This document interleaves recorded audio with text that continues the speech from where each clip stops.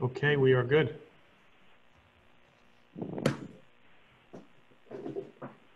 All right, do you want to start?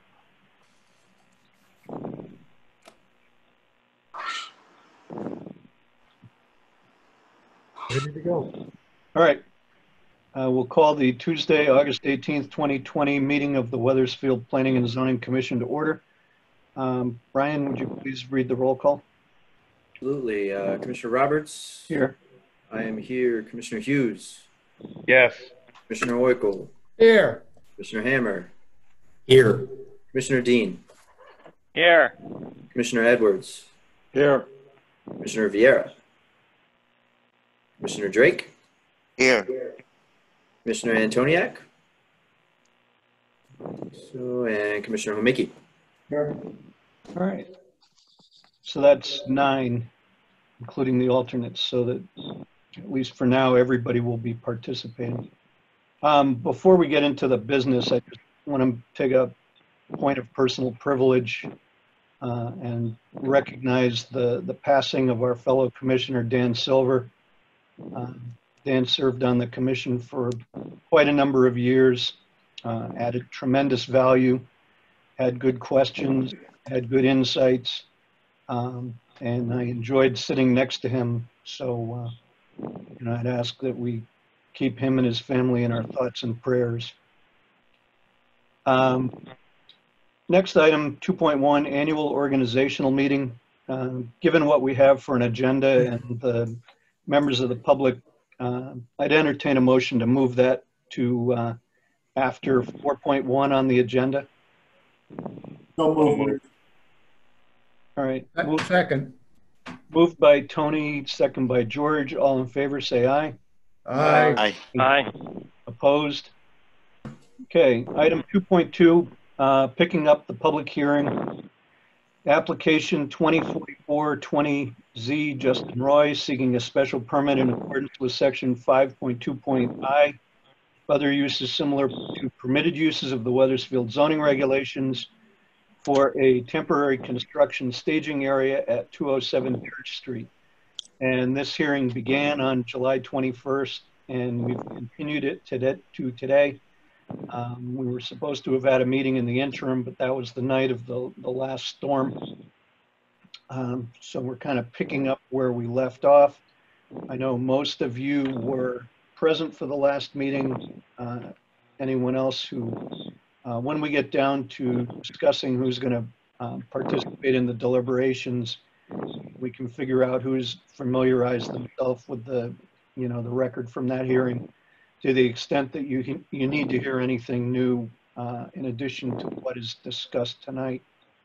Um, So I guess with that, I would ask the applicant if you'd like to, uh, you know, basically make a present, a brief recap of the presentation and any kind of update from uh, where we were on July 21st.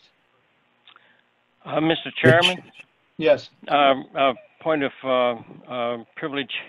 I, um, I, in perhaps an overabundance of caution, um, I deem it uh, potentially inappropriate for me to continue participation in uh, this uh, application 2 2044-20-Z, and I hereby abstain from further participation in this matter uh, and request the chair appoint an alternate in my stead for Okay. this applicable for this application only. all right, thank you. Yeah, we don't, we don't, we don't have any could- other alternates. I'm sorry, Joe. sorry, as I had indicated to, to Peter, um, I am also not going to participate uh, in this application as well. Okay, thank you. Uh, So that takes us down to seven members who will be um, hearing the application, and if we close the hearing tonight, deliberating and voting. And again, um, according to our bylaws, it requires five affirmative votes for a, for a motion to carry. So again, I'd invite um, the applicant to sort of recap what it is they're proposing, uh, talk about any changes in the proposal and any updated information since July 21st that they wish to share. And Justin looks like he's muted. Okay. All right, thanks everyone for coming together, meeting again. I know we were supposed to meet two weeks ago, but unfortunately the weather wouldn't allow that. Um, so we are interested in utilizing the back of 207, 214 for temporary construction staging for the water main improvements project that's taking place on Church Street and Knott Street. Um, the duration of use would be approximately from August now through June of next year.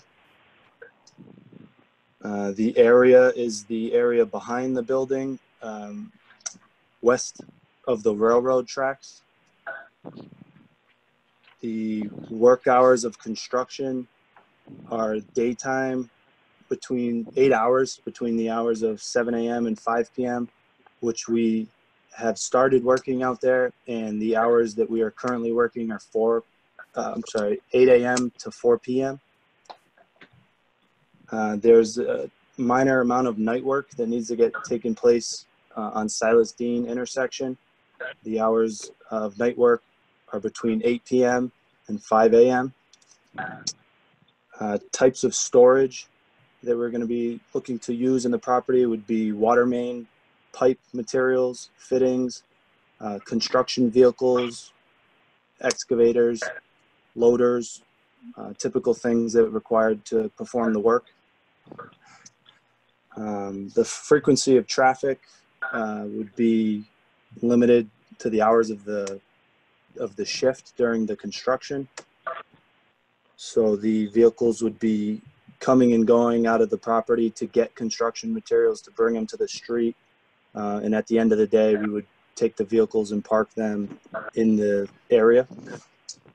Uh, during the last meeting, there was uh, some concern about the noise and the night work and possibly utilizing other sites. Uh, since the last meeting, we've uh, I approached the state to see what they would allow if they would change the work. Um, they've they've allowed test pits to be performed during the day instead of night, which we've since began doing that. We've started working out there this week during the day. Um, the actual water main work will still need to be completed at night, but we anticipate, like I mentioned last time, that each site is going to take uh, one week or less. So I'm thinking two weeks of night work. Um, there was questions asked about alternate staging areas. Um, we've approached the Wethersfield Construction Company on Wells Street to see if they have space or if they're willing to lease a section of their yard to us. Um, I was told that they do not own, uh, they're, they're not the owners of the land and, and they are not, uh, they're not able to accommodate. And if, if they were, they, they said they're really maxed out with capacity, so that was not an option. Um, another area that was mentioned was the PriceRite parking lot. Um, I reached out to the Colvis group. I spoke with the front office desk. Uh, I was told I'd uh, probably get a call back from somebody, but I did not receive uh, any information on that property. Um, and, a, a third spot that talking to the town of Wethersfield, uh, they have a location on Marsh, I believe Marsh Street at the end of Church.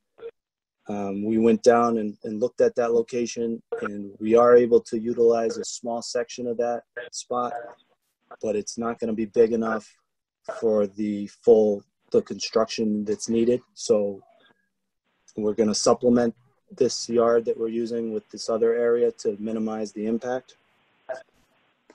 Um, and as far as the site plan, uh, the town of Wethersfield reviewed our site plan and made some recommendations about uh, erosion controls and silt fence, which which we have no objection to installing to meet the to meet the requirements. I was not entirely clear on, on what your conclusion was when you were talking about the town um, town garage down on Marsh Street. You said it wasn't big enough, but then you said something about taking advantage of it to reduce the scope, but I'm not sure whether that meant you were thinking about doing that or whether it just didn't work or what. Uh, Yep, so we plan to use as, as much area as we can at the Marsh Street um, without disrupting the town's activities. I believe they made two bins or areas, we call them, that, that we, we can use for storing some of the aggregate material, the sand and the stone. At the end of the day, we can uh, dump it there to minimize the impact at the 207 property. Um, I'd like to say something, George. Um, What, Peter, I really want to address this to you. Why can't the locations not be along the railroad side or as close to the railroad as they are? They can't be moved out to the 100-foot line? Or into it? Uh, I mean, that's a flat site. I mean, is that so sacred? Even though there's construction on it, including part of the building, that it can't be moved out into the middle of the site to get it further away from those homes? I, George, I think to answer your question, there is some flexibility to pull that material away. There is a hundred-year flood zone uh, along the brook. Um, The Wetlands Commission made the determination that any storage within there required a permit from them. It wasn't a uh, no, but it was that it needed to go through their process. And it was determined uh, that they didn't want to go through that process. There is some area out towards the street uh, in the front of the property where some of the material is being stored now, uh, that outside of the hundred-year flood zone, which would be okay. So there's potentially, uh, some flexibility, uh, to do that, uh, as well as pull some of the material away from the railroad tracks to a certain extent. I don't know that it's going to be significant So you're saying, you're saying, Peter, that the, it's too involved to ask the inland wetlands to consider some use of that below that 100-foot line? No, I don't think it's too involved. It's just that a decision was made by whoever that they didn't want to pursue that permit. Uh, Doesn't mean they couldn't still pursue that. I Um, mean, the applicant did not want to. I'll let Justin answer that question. I wasn't part of those conversations. Um, It came to me after that, after that determination was made. Because, Peter, to be very honest, I, I go down there and I've looked at it. And in the past, I even talked to, I didn't uh, ask to talk to them, but I talked to a couple of the neighbors. They've testified to us. And um, I don't see it so bad right now with the growth down there of the vegetation this summer. And actually, there are a lot of pine trees, and uh, I looked at it very carefully. In fact, I even went down there today to take a second look at it. And uh, it's not that bad. Um, But it's just, I was saying if we could move out instead of right along the railroad track, uh, even, even 100 feet, uh, you know, 50 or 100 feet, it'd be that much further away from those people and make them happier. And uh, I think I would feel a lot better. In fact, I was thinking at one point of voting against this application for that reason. And uh, I, uh, because I, I think we have to treat neighborhoods like Old Wethersfield uh, in a sincere manner. And they have been, uh, they had the dog issue uh, down the way a bit last year. And uh, I don't blame them for being very concerned and speaking out on this. And so I was trying to make this a more appropriate site location. And uh, I thought moving it smack on top of the 100-foot line or just, you know, part of it below it would not be a problem. And I was saying that, gee, if a flood ever does come along that's serious, uh, the kind of materials they have can be moved very quickly. So it's not a crisis in that sense.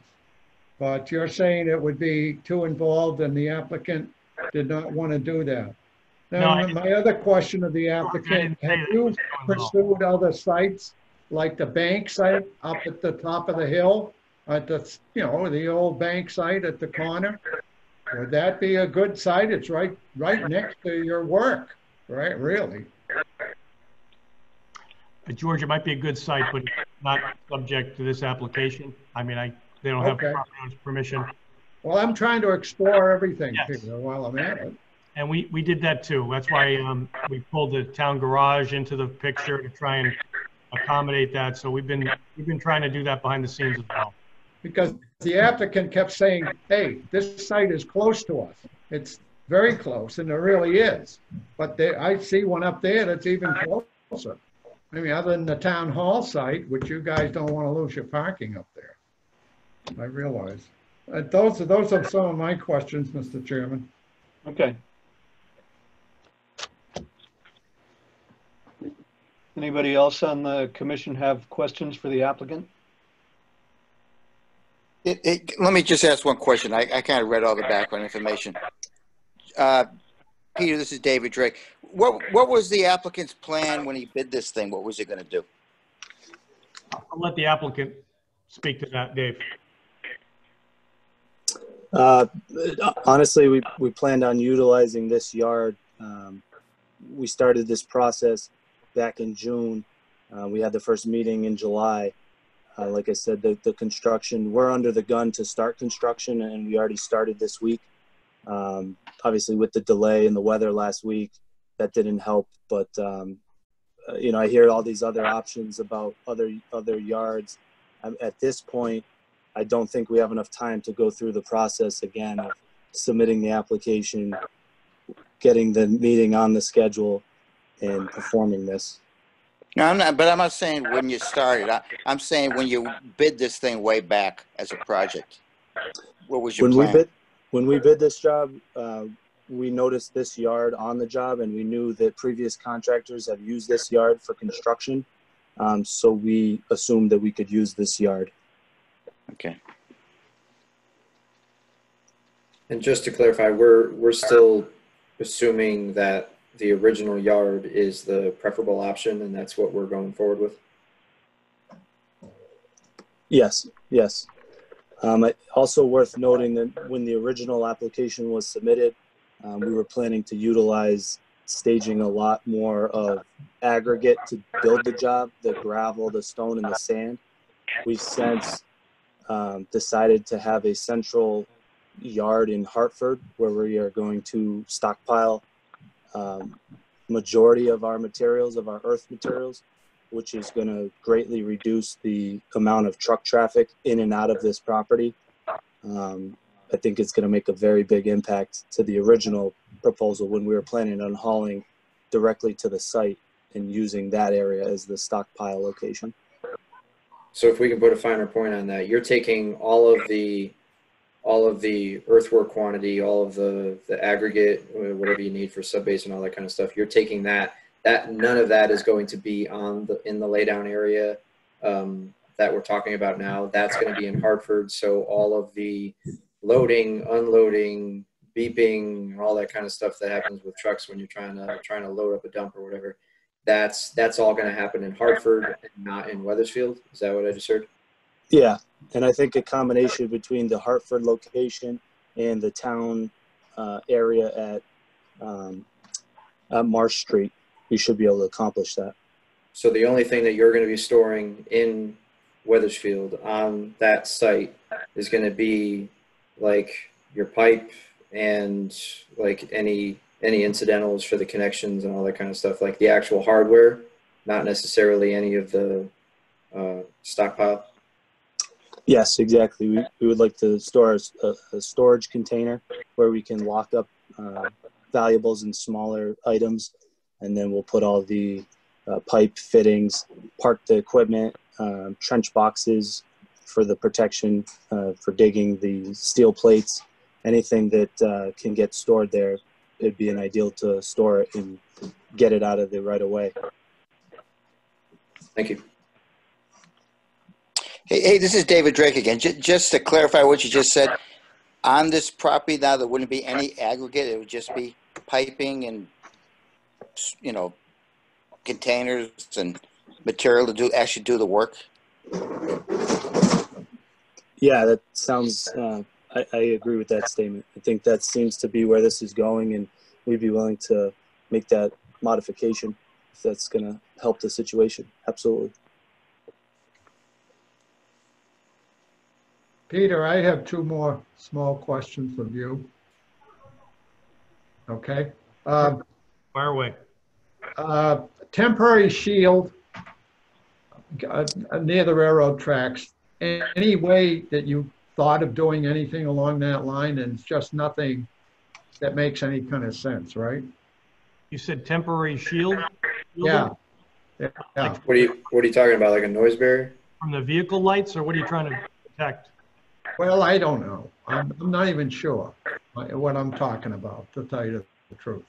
Um, I thought there might be something that was, could be considered, but considering what we went through over at the dog situation, I doubt very much, and I don't mean anything that sturdy or strong, but just something additional that would be, uh, help with the sound issues and the light issues, if any. I I don't think a temporary would help with any sound issues, but it might help with the uh, headlights as the vehicles turn in the parking lot uh, in the early morning or late in the evening.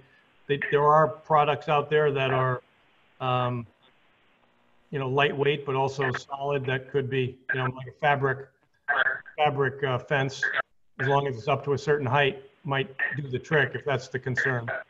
That's what I was thinking. In addition to the uh, pine trees and the growth down there is pretty good right now. And uh, I noticed today, and uh, so something like that would really, would really help the neighbors, I think. Okay, I made that note. The other thing is, Peter, is a question, you had the second one was, this is a little off the site, sort of. It's the railroad ties along the railroad there toward the entrance. What, what the heck? Whose are those? The railroads? The railroad, Why are they there? they've been working in the right of way, um, removing ties and cleaning, uh, well, I, regrading the track, I guess is the best way of putting it, over the last few weeks.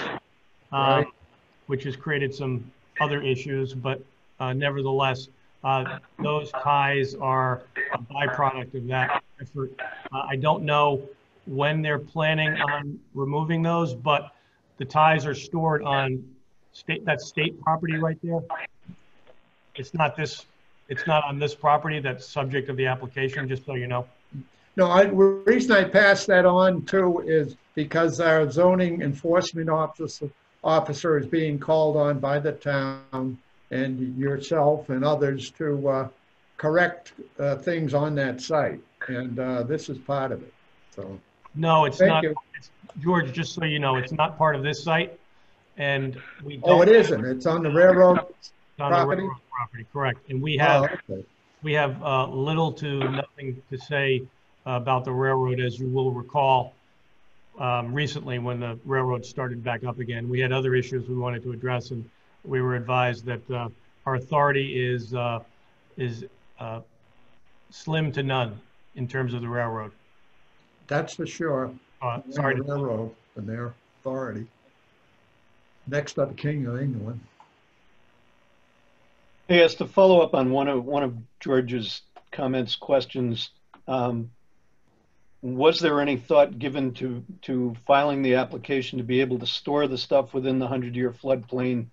Just to kind of reduce the impact on, uh, the neighbors? And secondarily, you know, now that you've kind of offloaded some of the, you know, material transactions, um, you know, what, what are your estimated volume of truck traffic during the ordinary day? Um, expectations for this property? I know that you had talked about, uh, a month ago, you had talked about how many trips were likely to be required. Has that changed substantially as a result of, uh, moving some of the material to Hartford or, or over to Marsh Street? Yeah, I think uh, it would reduce the truck traffic than what we were originally thinking, uh, just for the main reason that the trucks don't need to go to the yard to get the material.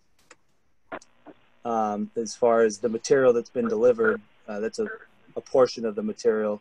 Uh, obviously, there's still more pipe that needs to get delivered to the yard, and um, but when that comes in, it's you know one truckload unloaded, and then the truck's gone, so it's not significant in and out traffic.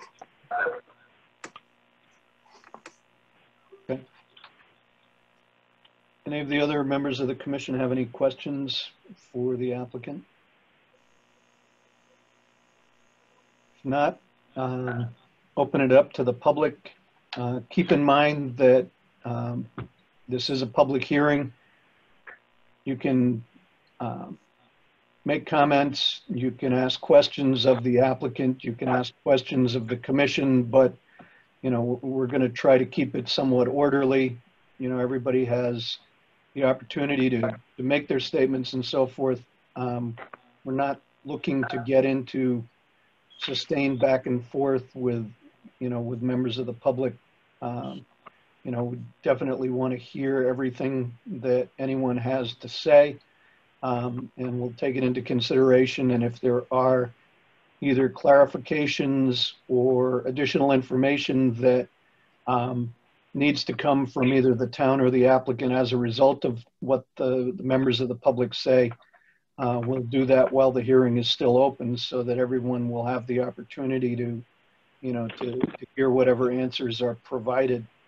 Um, I don't know, Peter, do you have the ability to kind of control or do we just sort of? Yes, I can, I, I'm just gonna go in order here. Um, Okay, by the last four digits of the phone number, so I'll just call them out and we'll try and keep it, uh, to some order, and then if necessary, we go back, uh, in order again. So the first, the first name I see there, and it may not be here for this application, but Ian Primo? Oh, I'm uh, superintendent with Baltazar, so I'm just here to help answer questions. I just tagged on with Justin to help out. Okay, thanks.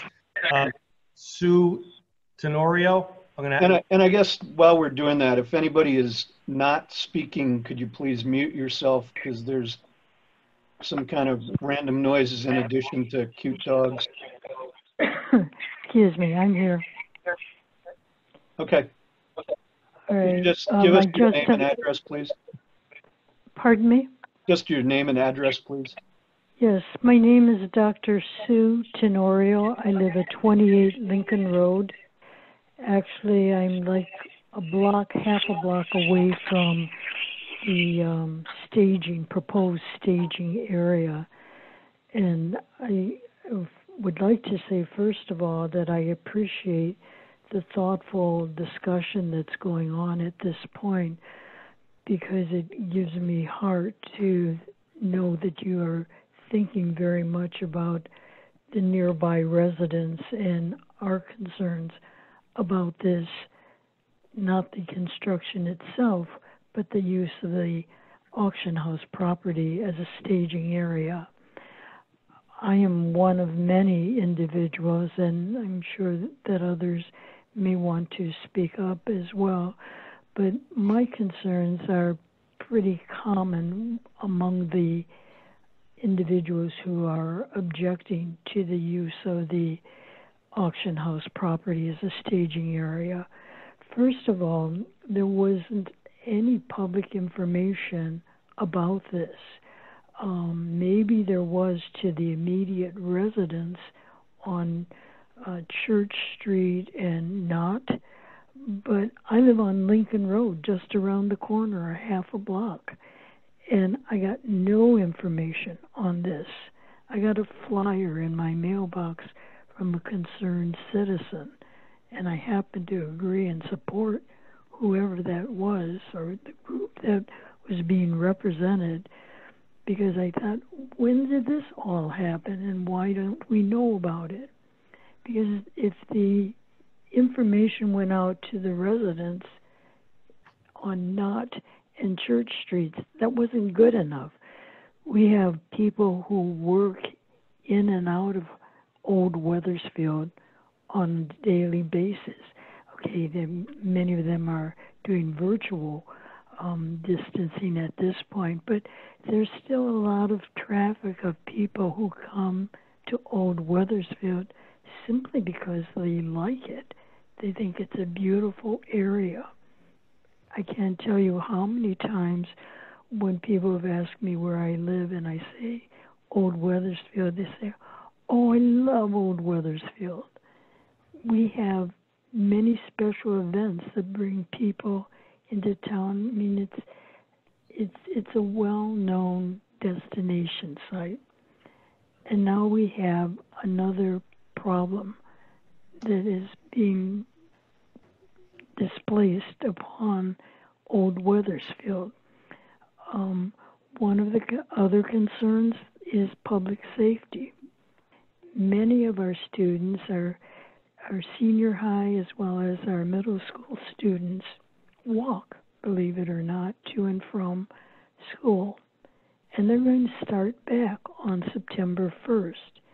Was bad enough that they have to be mindful of the trains that have all been agreed to and authorized and originally were supposed to be at almost prescribed times. But they they're coming at all times of the day and in the night as well.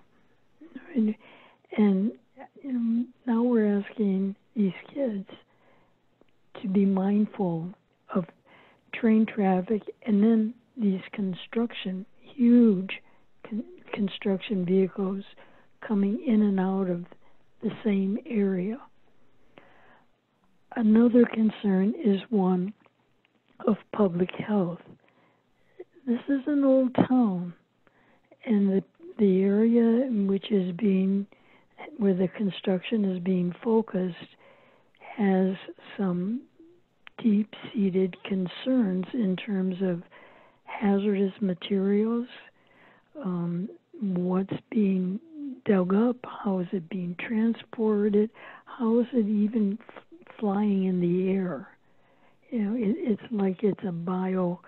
Um, it's a it's a contaminant that that exists in these these um, materials that are being dug up and transported around the area, and it's like a biohazard risk situation. But most significantly, the site, the auction house property, is zoned as a town center site. It's not a construction site nor a dumping ground, nor a staging area.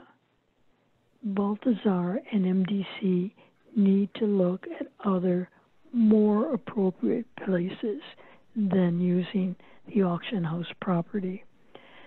The gentleman who spoke from Baltazar a few minutes ago, who said he placed a call to cost right, or price right, excuse me, and he hasn't heard back. Well, excuse me, you call again.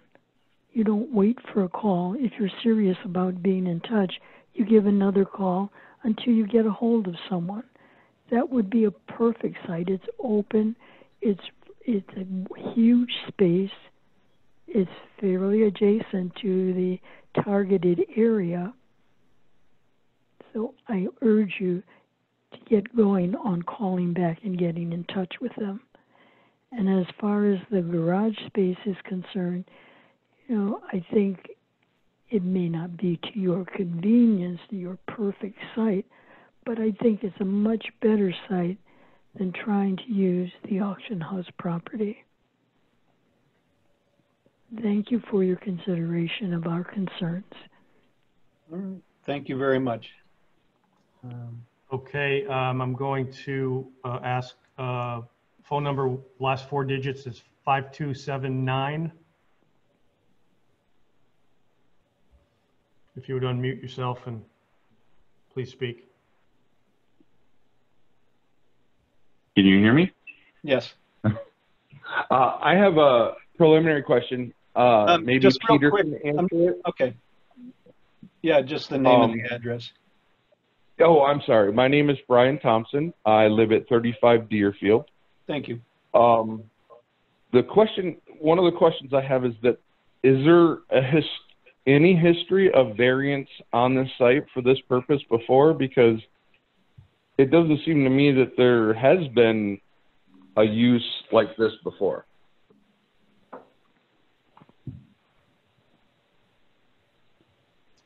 Rich, do you, do you want me to answer that or? Yeah, I mean, all, all I can say is I'm not aware of any in whatever time I've been paying attention to things. That's correct. Okay, another thing, I just want to nail down Rush, uh, nail down Justin. You're saying now you're not going to store the dirt behind the auction house in the parking lot, but you will be storing pipes and stuff. Do you see yourself taking up that whole area still, or is the area in front of the auction house where you're at right now without the variance big enough?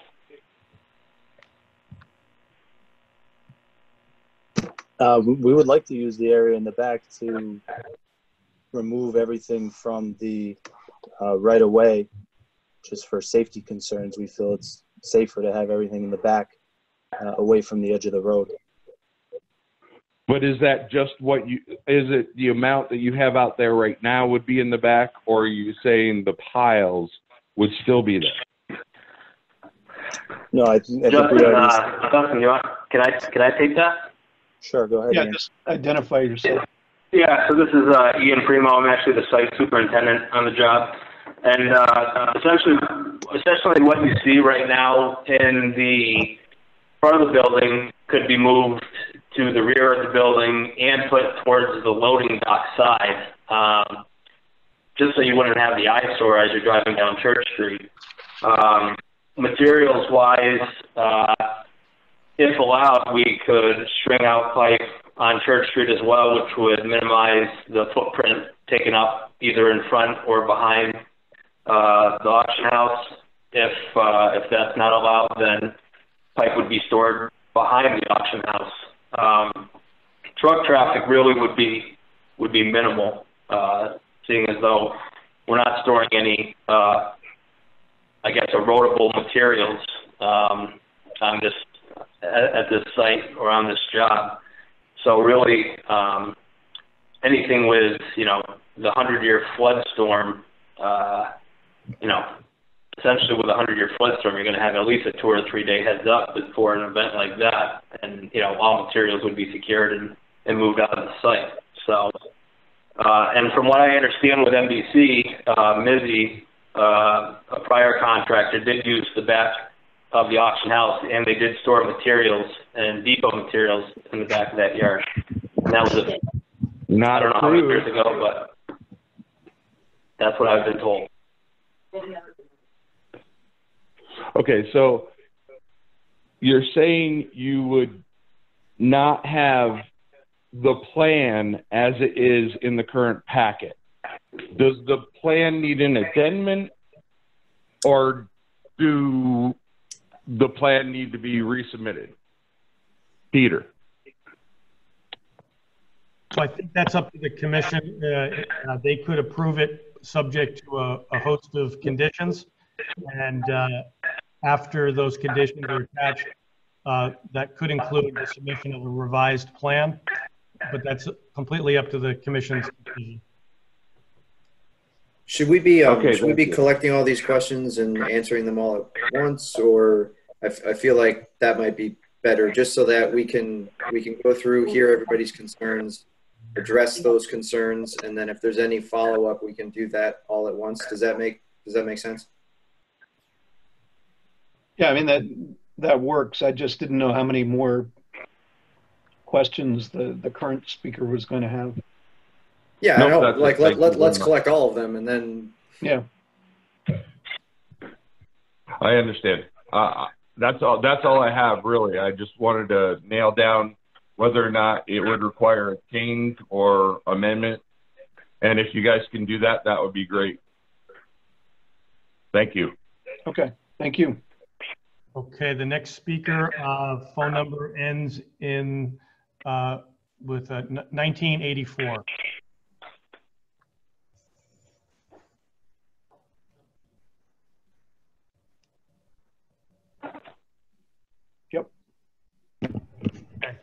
Hi, good evening. How are you?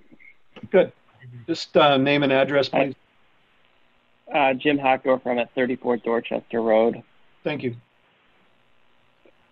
Um, I would just like uh, the company to try to find a alternate location opposed to the back of the auction house as uh, kind of close to a residential area. As as was mentioned, they're trying to keep it an eyesore from Church Street, but it still would be an hour eye line from Dorchester, Deerfield, and Lincoln. Okay. Okay. Thank you very much. Um, the Thank next- you. Thank you. The next speaker, uh, phone number ends in uh, number 1717.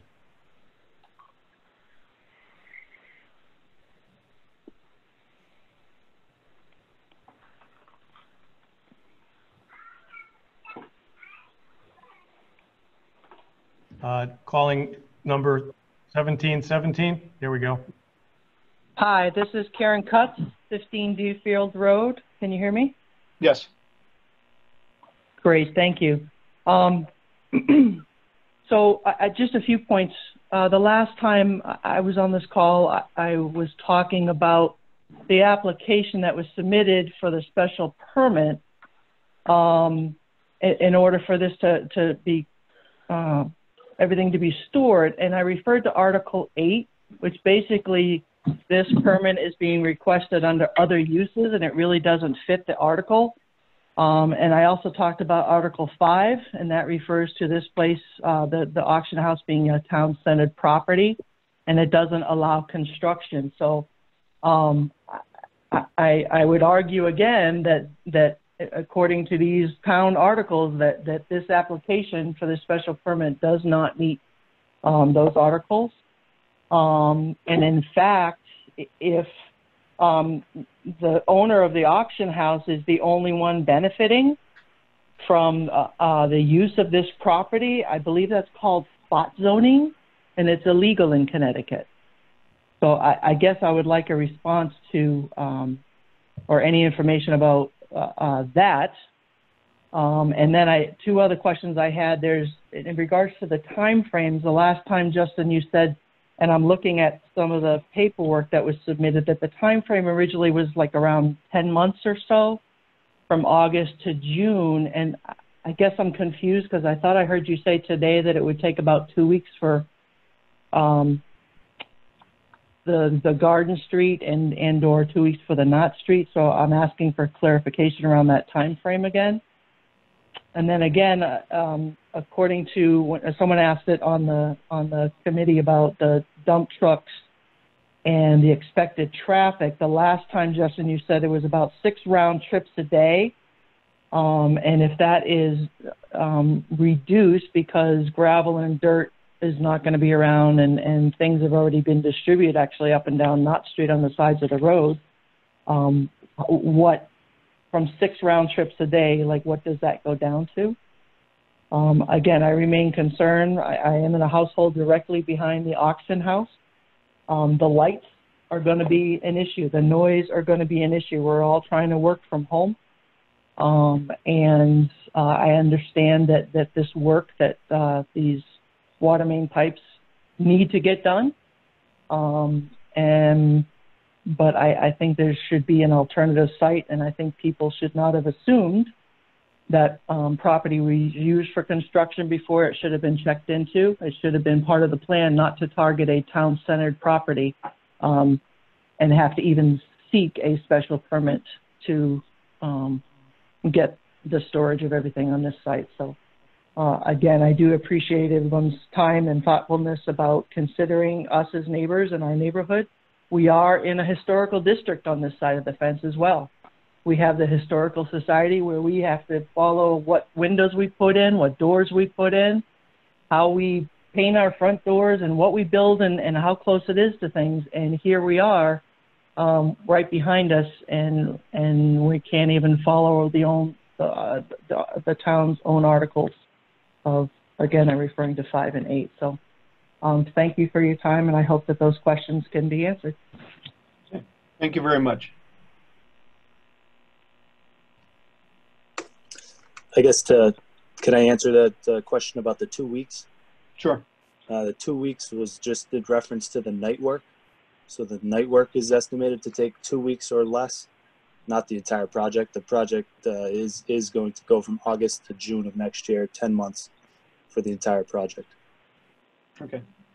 Justin, just to follow up to that question, um, when you do have those two weeks of night work, would there be uh, daytime work going on during those two weeks at the same time? Uh, thanks, Peter. No, the night work will take place separately. Uh, so basically, we will not have double shifts going on at the same time. We will not be working around the clock, day work and night work. When the crew switches to night work, there'll be no activity during the day. And then when they're done with the night work, they'll switch back to the to the day shift. Okay, thank you.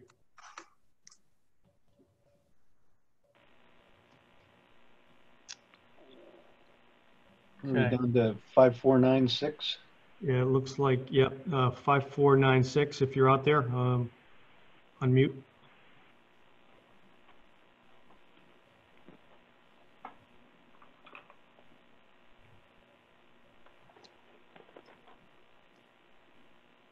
Phone number ending in 5496.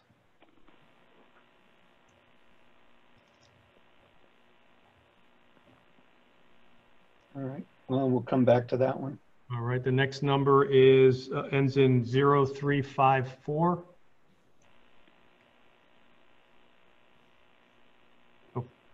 Okay. Good evening. Hi, this is Lori Tulene, 83 Hartford Ave. Thank you. Um, I want to echo Karen Cutts. Um, I am agreeing with her concerns. Um, I'm calling in because I really do believe that there needs to be another site for this project. Um, it does create um, a lot of disruption to this neighborhood, and it's entirely an inappropriate um, place for the staging. I really, I, I also appreciate the discussion going on tonight, and I realize, you know, that that this could be approved with exceptions. So far, I haven't heard any that make me change my mind, um, and I just urge you to to please not pass this and and ask the applicants to find a better, um, more suited and already zoned property. And that's it. Okay. Thank you very much. Thank you. Alrighty. Good night. Thank you. Uh, The next, the next number is, let's see here. Did we get um, 5279 already? If you're out there? I think so. I think we got that one already? Okay. Yes. Um, So if we, 5496, so uh, 0422.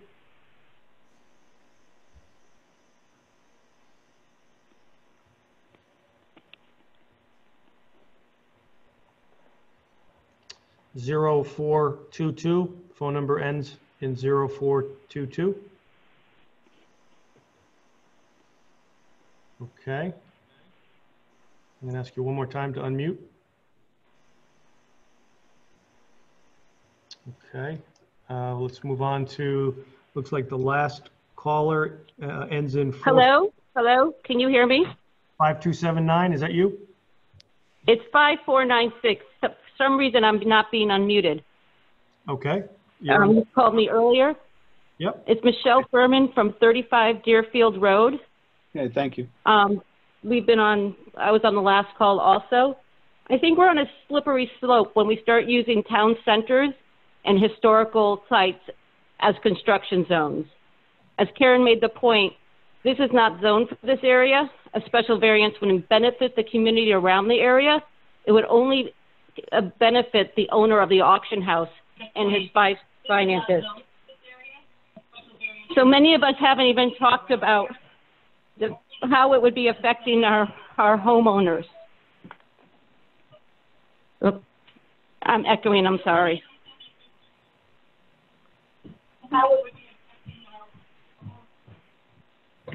So, you know, with everything that's going to go on behind us, we're going to be talking about noise and debris. And and yes, we may have a special variance, but we haven't even decided if that's going to be to the point yet. But we're talking about environment, you know, environmentally dumping dirt, debris, 18 hours a day of people moving back and forth behind our house. Fall will be here shortly. The leaves will be down. We'll be have a clear sight view to this site. The sound will pick up with fall coming. There will be we'll be able to see it. Um, we have students that are now going to be homeschooling three days a week minimum, five days for some. We have parents that are working from home to, and taking care of their children while schooling them. The amount of stress and the impact that this will put on our daily lives is unbearable.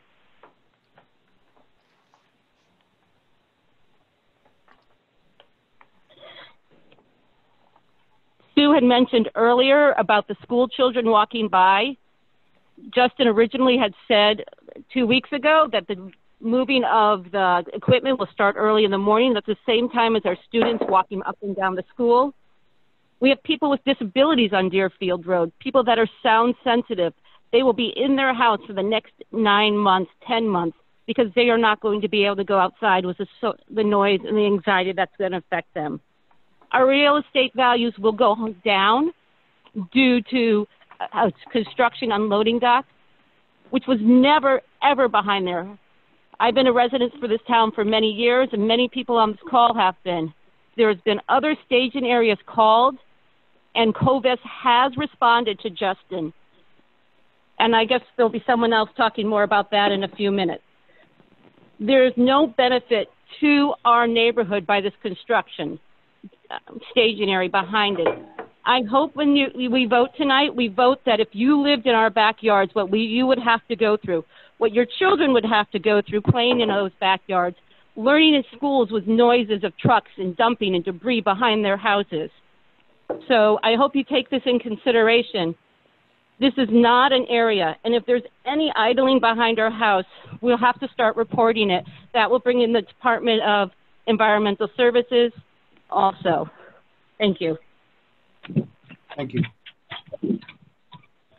Okay, um, I think the last phone number is, uh, ends in 4434. If you're-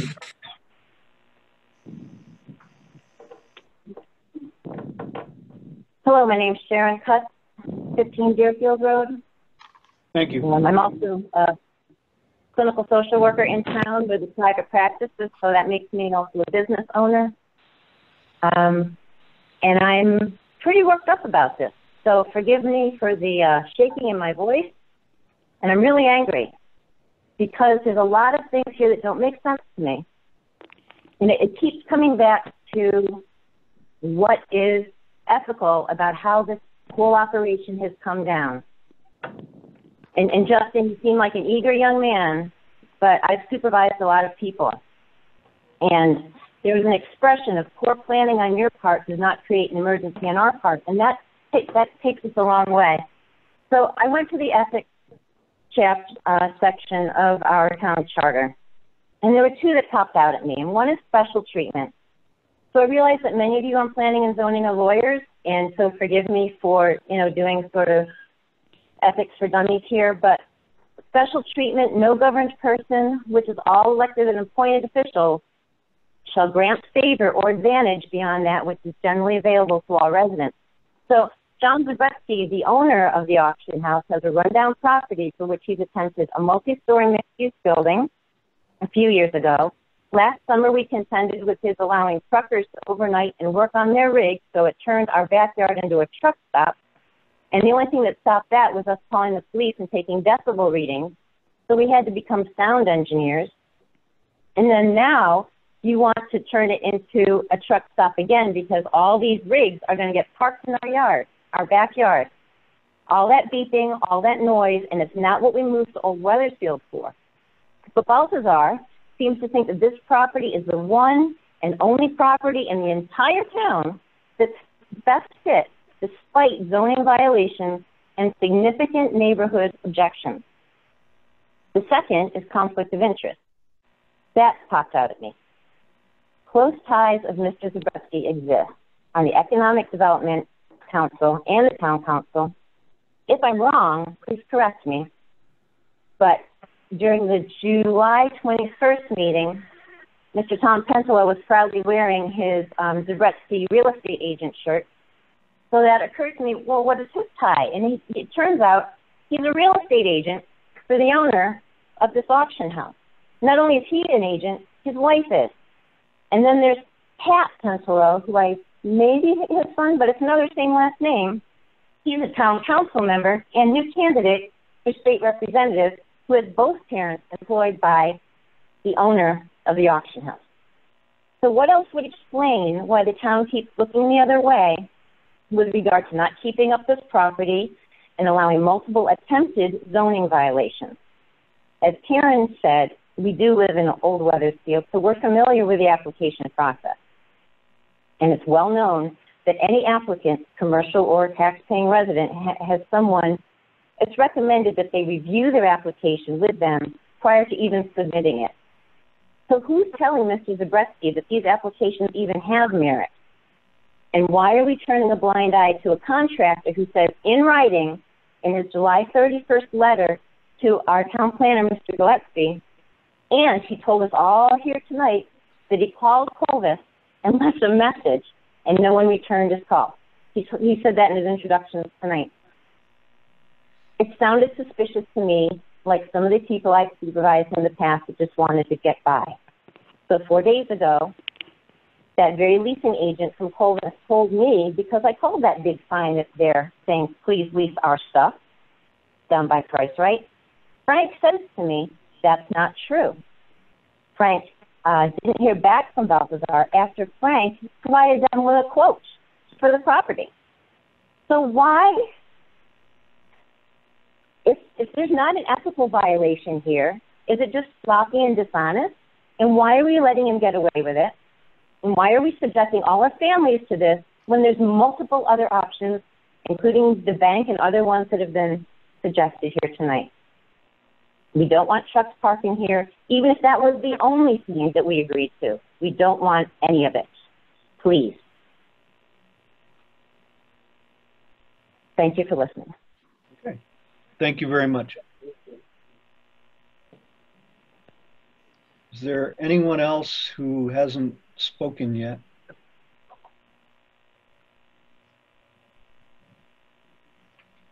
I'll just uh, highlight the correspondence that we've received um, thus far regarding this application. Uh, from Brian Thompson, July 21st, he's at 35 Deerfield, uh, concern about light and noise pollution, and on August 17th, photographs showing that Baltazar has moved in. Uh, from Sharon Cutts on July 21st, 15 Deerfield, uh, neighbors deserve quiet. Families working from home. Property owner has a history of past violations.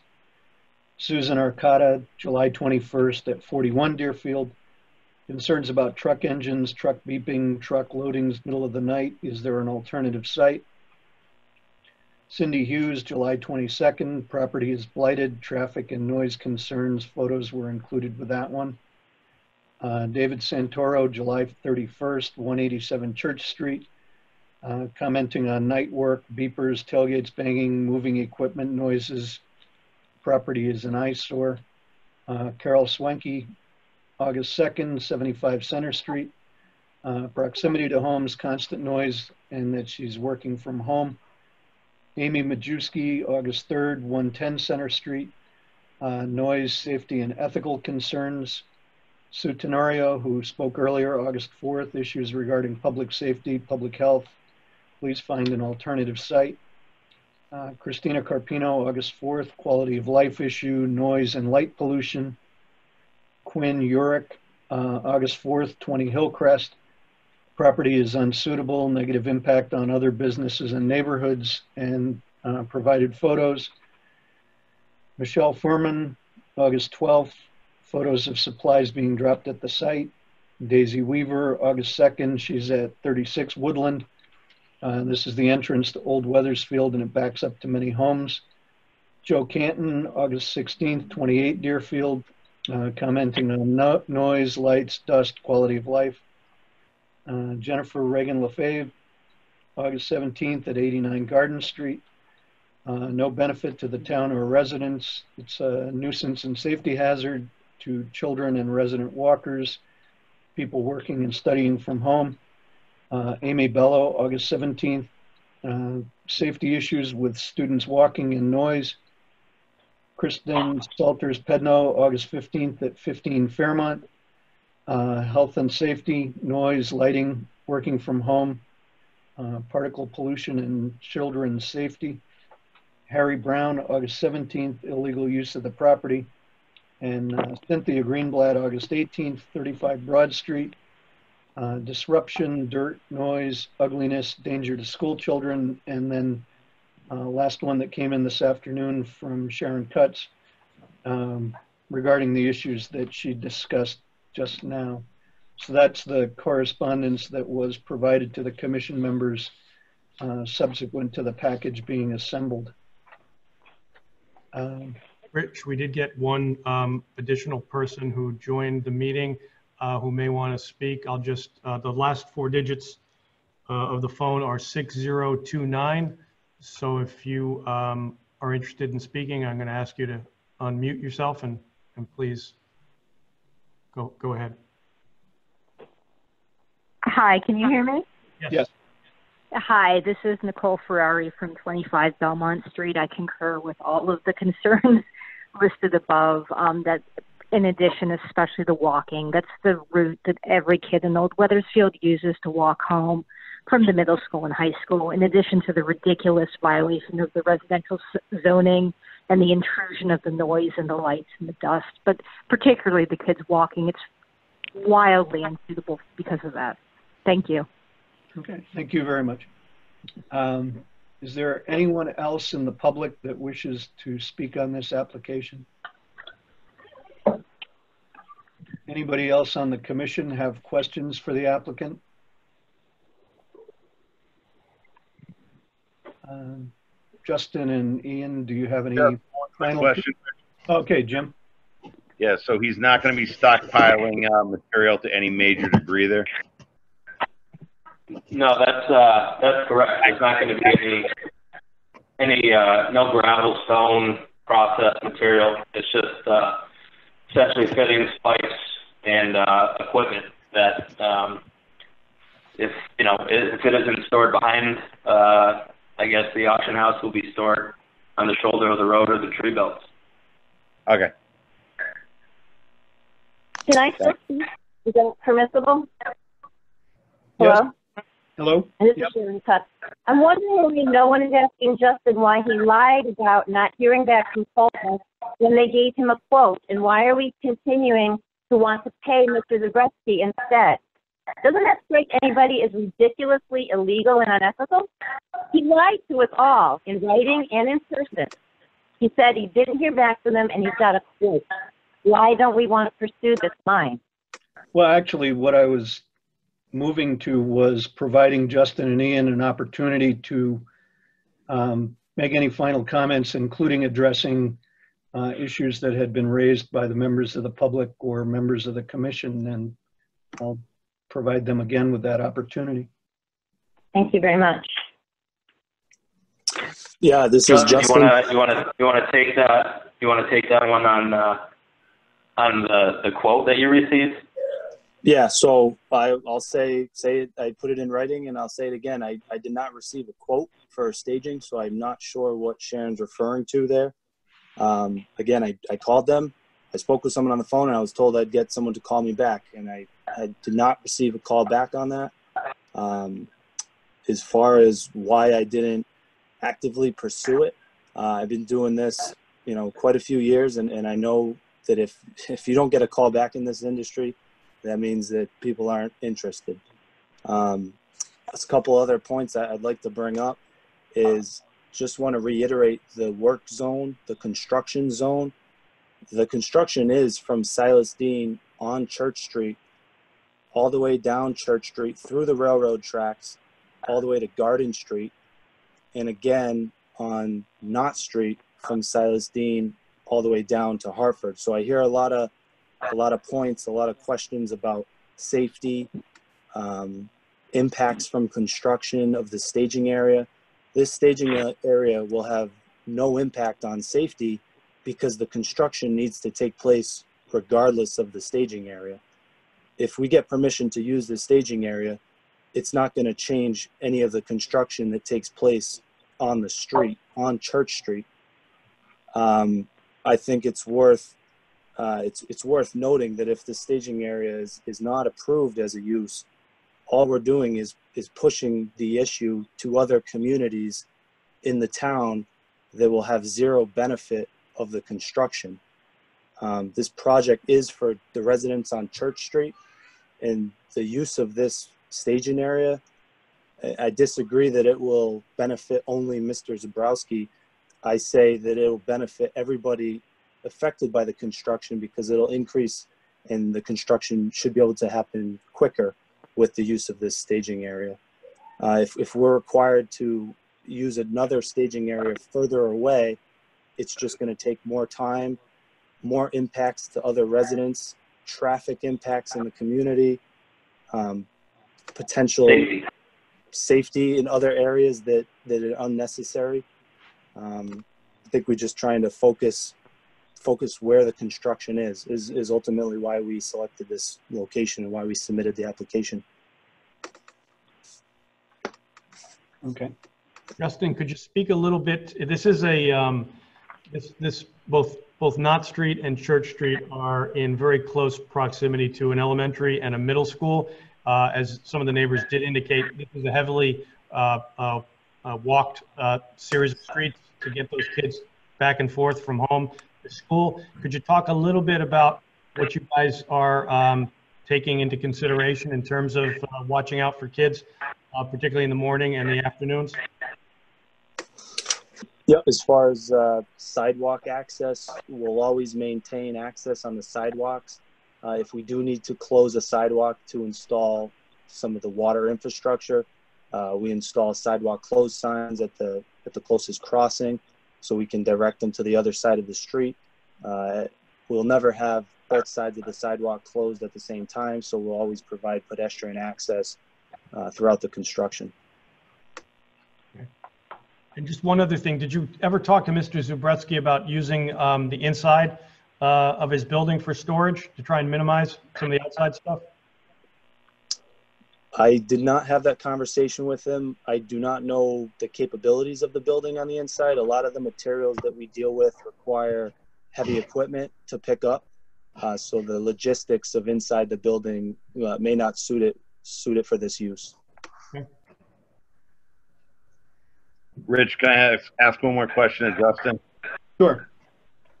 Uh, Justin, uh, would you be willing to install a temporary construction fence running parallel to the railroad tracks and have a, a screen, you know, uh, mesh screening put on it, so to uh, stop any headlights and dust and that type of thing? Would that would you object to that if that was something we would want would like you to do if going forward? Uh, no, we wouldn't object to putting uh, a screening between. I just can't guarantee that that's going to stop. Uh, it, it'll help, but I can't guarantee that it's going to stop uh, all your concerns. Right. Okay. Thank you. I, I, I, I disagree, uh, Justin. Uh, we keep talking about headlights. What we don't we don't keep our headlights on between eight and four uh, during the day. So I'm not sure where headlights are going to become an issue. And I, I mean, and, and the screen. I mean, it's not like we're going to have dust or, um, you know, anything really. Uh, I, I, I'm just not sure what the barrier would do. What time of year are you going to do the night work? Uh, right now, the night work's anticipated to be going on in September.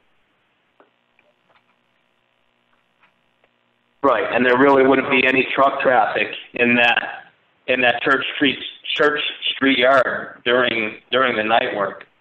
You know, we would bring our materials out there prior to start, um, and our equipment would be essentially staying in the intersection throughout the night. All trucks, uh, you know, taking excavated material would be going to Hartford and bringing back uh, materials from Hartford. So really, besides uh, you know, essentially starting the equipment and bring it to the intersection, there wouldn't be any traffic coming in and out of uh, of that that uh, laydown yard at night. Okay.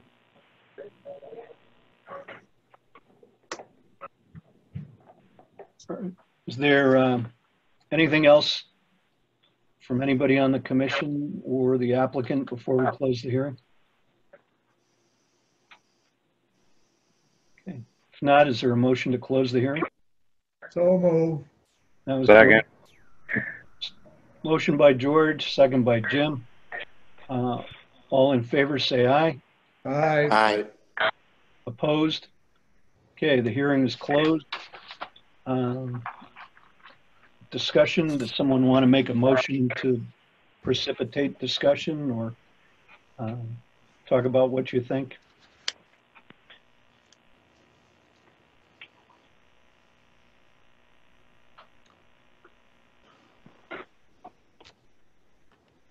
I mean, in my mind, like if I'll just chime in with, um, I think the taking taking all of like the the stockpile materials, like any of the granular materials, taking that off of um, the site turns it into just like a more more appropriately called like a laydown area. So it's it's less of an active sort of construction site, not not as much of the not as much of the noise as we were talking about uh, a month ago.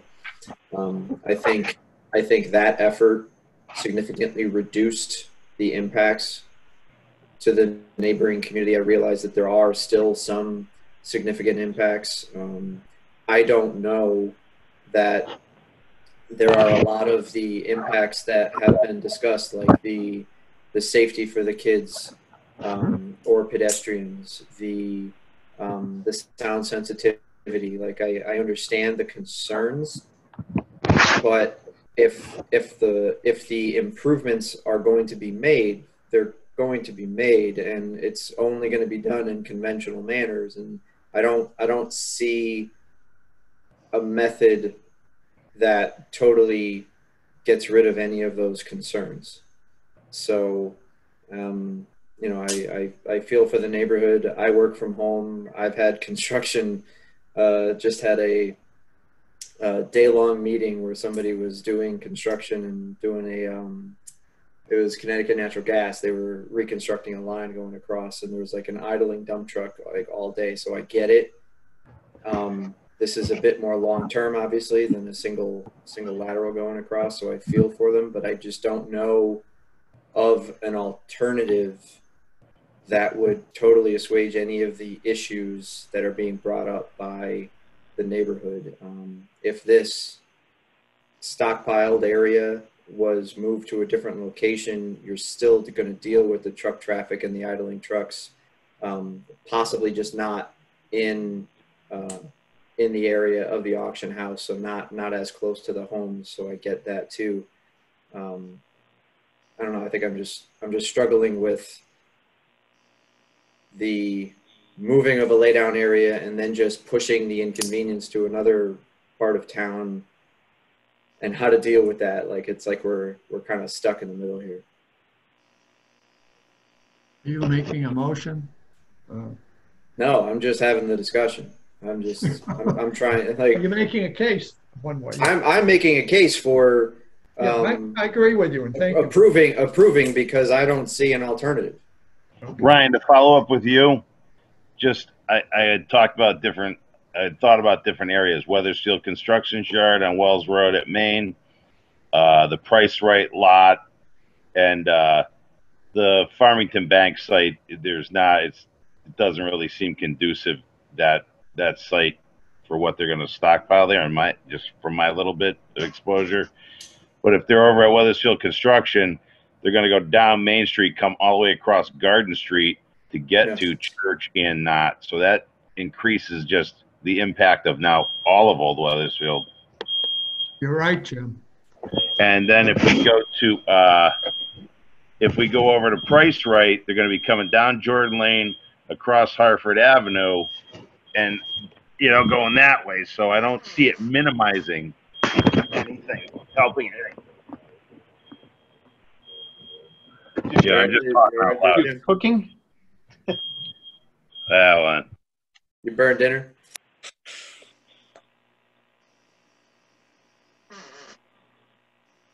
Mr. Chairman, Yes, Tony. can I make the motion anyway on it to just? Yeah, I'd, I'd appreciate idea.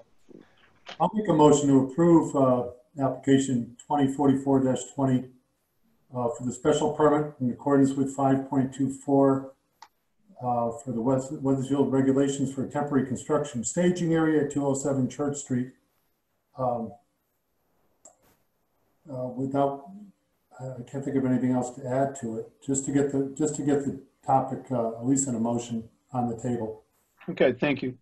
Someone want to second that for discussion? Second, George? yeah. I can, I'd like to add some conditions when you get to it. No, now's a good time. Okay. You want to do that now? Uh, Do, do we want to uh, put up a construction screen? I know that was brought up and the applicant uh, said that it wouldn't really help. And there might not be any really night trucks in there or night issues. Uh, George, I was going to suggest that, uh, after having looked back at my notes that we discussed a month ago, um, I think, I think, uh, Justin came in tonight a little more prepared and, and I want to thank Ian for joining in anyway. I think we needed that extra, those extra comments.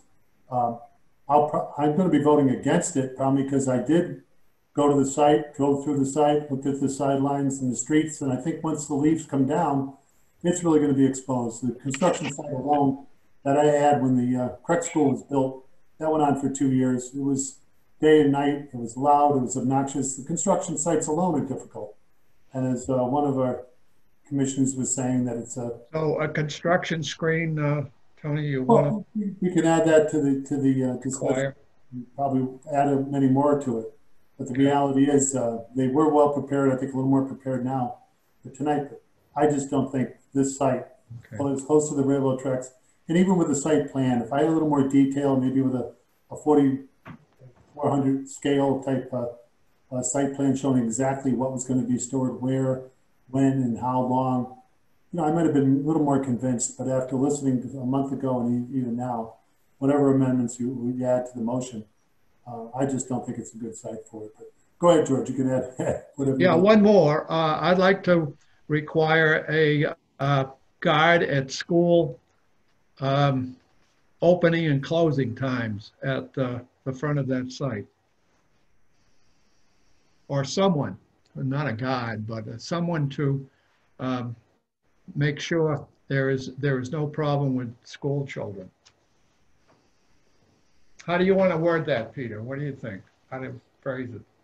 Uh, There is a, there is a crossing guard at Silas Deane and Church Street. Um, I don't, I meant right down in front of the site.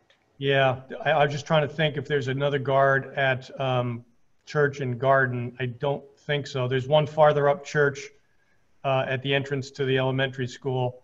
Um, I suppose you could attach that condition. I don't know how that would work in terms of paying for it and, It you know, could, I'm- be- it could be one of their own employees. That's all. I don't care who it is, but somebody. George, George, are you worried about ve- when vehicle? Area from, with the, between the trucks and any pedestrians during the school clo- opening and closing times. When, George, you mean so when vehicles are leaving the site, correct? Right, correct. Okay. Because is there any safety issue? This is to Justin. Is there any safety issue with the pipes being stored in a non-fenced area to the public? Uh, hearing's closed. Okay. Sorry. They could uh, install traffic control devices at their place, you know, i.e. stop signs, et cetera, in, inside the parking lot, you know, and uh, warning signs, you know, for the people. I'm sure it's part of their safety protocol, but Jim, I'm open to, on my suggestion to any kind of means to control the pedestrians and the trucks. I would think, uh, George, I think to your point, I think at minimum, actually, and, but, really, school times only. right. Okay? So, so George, to your point, and it's a, a valid point. Why we, at minimum, require them to install on their side for the trucks coming out of the site, uh, stop signs and you know pedestrian crossing signs, just to keep reminding the drivers as they come out, you know, of what's going on there. Uh, not good enough, Jim, in my mind. Because they are going to be working on the shoulder of the road. You know, they're going to be working within the sidewalk all the way around church. Not everything. you know, the whole neighborhood's going to be impacted. I'm just, I'm just talking out loud, George. I thought the uh, pipe was going up pretty much the middle of the street, sort of on the. on the But they may stage side. it on the side of the road. What's that? They, they probably are going to stage it on the side of the road. Yeah, you mean staging, yeah, okay, okay, yeah, yeah, yeah, yeah.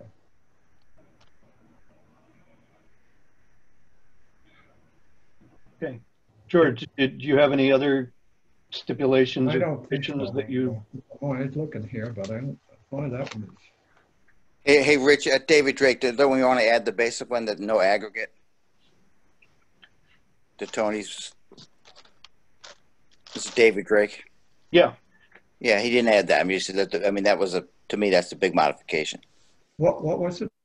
No aggregate. I mean, that's the, truthfully, that's the biggest modification. Yeah, no, no storage of earth materials. Yeah, I mean, that's, to me, that changes a lot, right? Yep. It does, you can put that in as, uh, I'd accept that as an amendment. George, you okay with that? Yeah, I, what, yeah, yeah, I, I have one more, I don't know, it's- it's a multiple thing, sort of. And it came from the beginning of all this. Uh, cleaning up the roadway in and out, the, uh, they said they're gonna do all this, but I'd rather put it in conditions. Uh, On the west side, the cleaning up the chairs, uh, fixing the potholes, and then the site should be, may, uh, should be brought back to normal or something like that, some phrasing, um, when they're complete. Clean, cleaning up the site too. I mean, it- there's. Well, they have to sweep the site, George. No, On the, uh, east side, stuff growing up the side of the building, clean it up a little bit.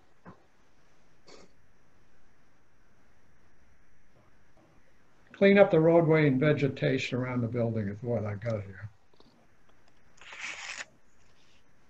Get the chairs out of there. I think those are gone maybe. I went through today. I didn't remember seeing them. Okay. The uh, town engineer wanted in, in the, in the extent that it was necessary, there was some erosion and sediment control measures that he wanted to be attached just in case. I think they may go away because of the aggregate material, but I would, I would leave that to the discretion of the town engineer.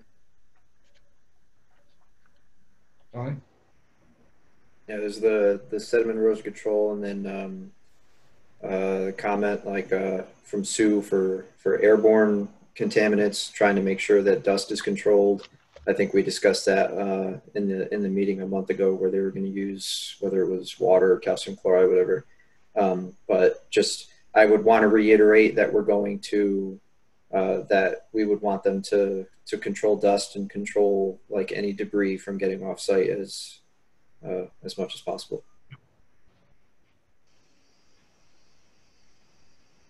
Okay.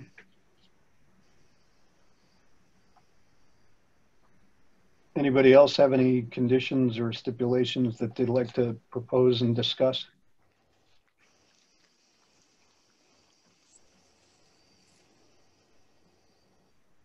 I think one thing that um, probably is worth including in there is that the uh, the hours of operation are as presented during the testimony tonight, since those were slightly at variance with what was in the writing in terms of the number of hours and um, and the uh, the length of the the anticipated night work.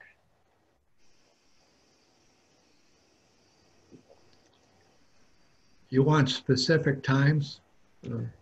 No, just, just what he had said. I mean, he, he provided 10 hour windows and said that they were only working eight hours a day, that the night work was anticipated to take two weeks and that there would be no day work during the time there was night work. You know, those kinds of things that, you know, were not in the, the written application, but were presented to us tonight. I believe he said seven AM to five PM.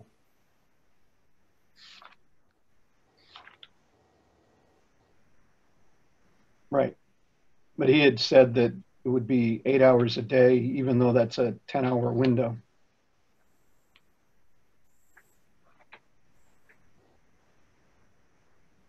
All right. Does anybody have anything else? I have, Uh, I have six conditions then.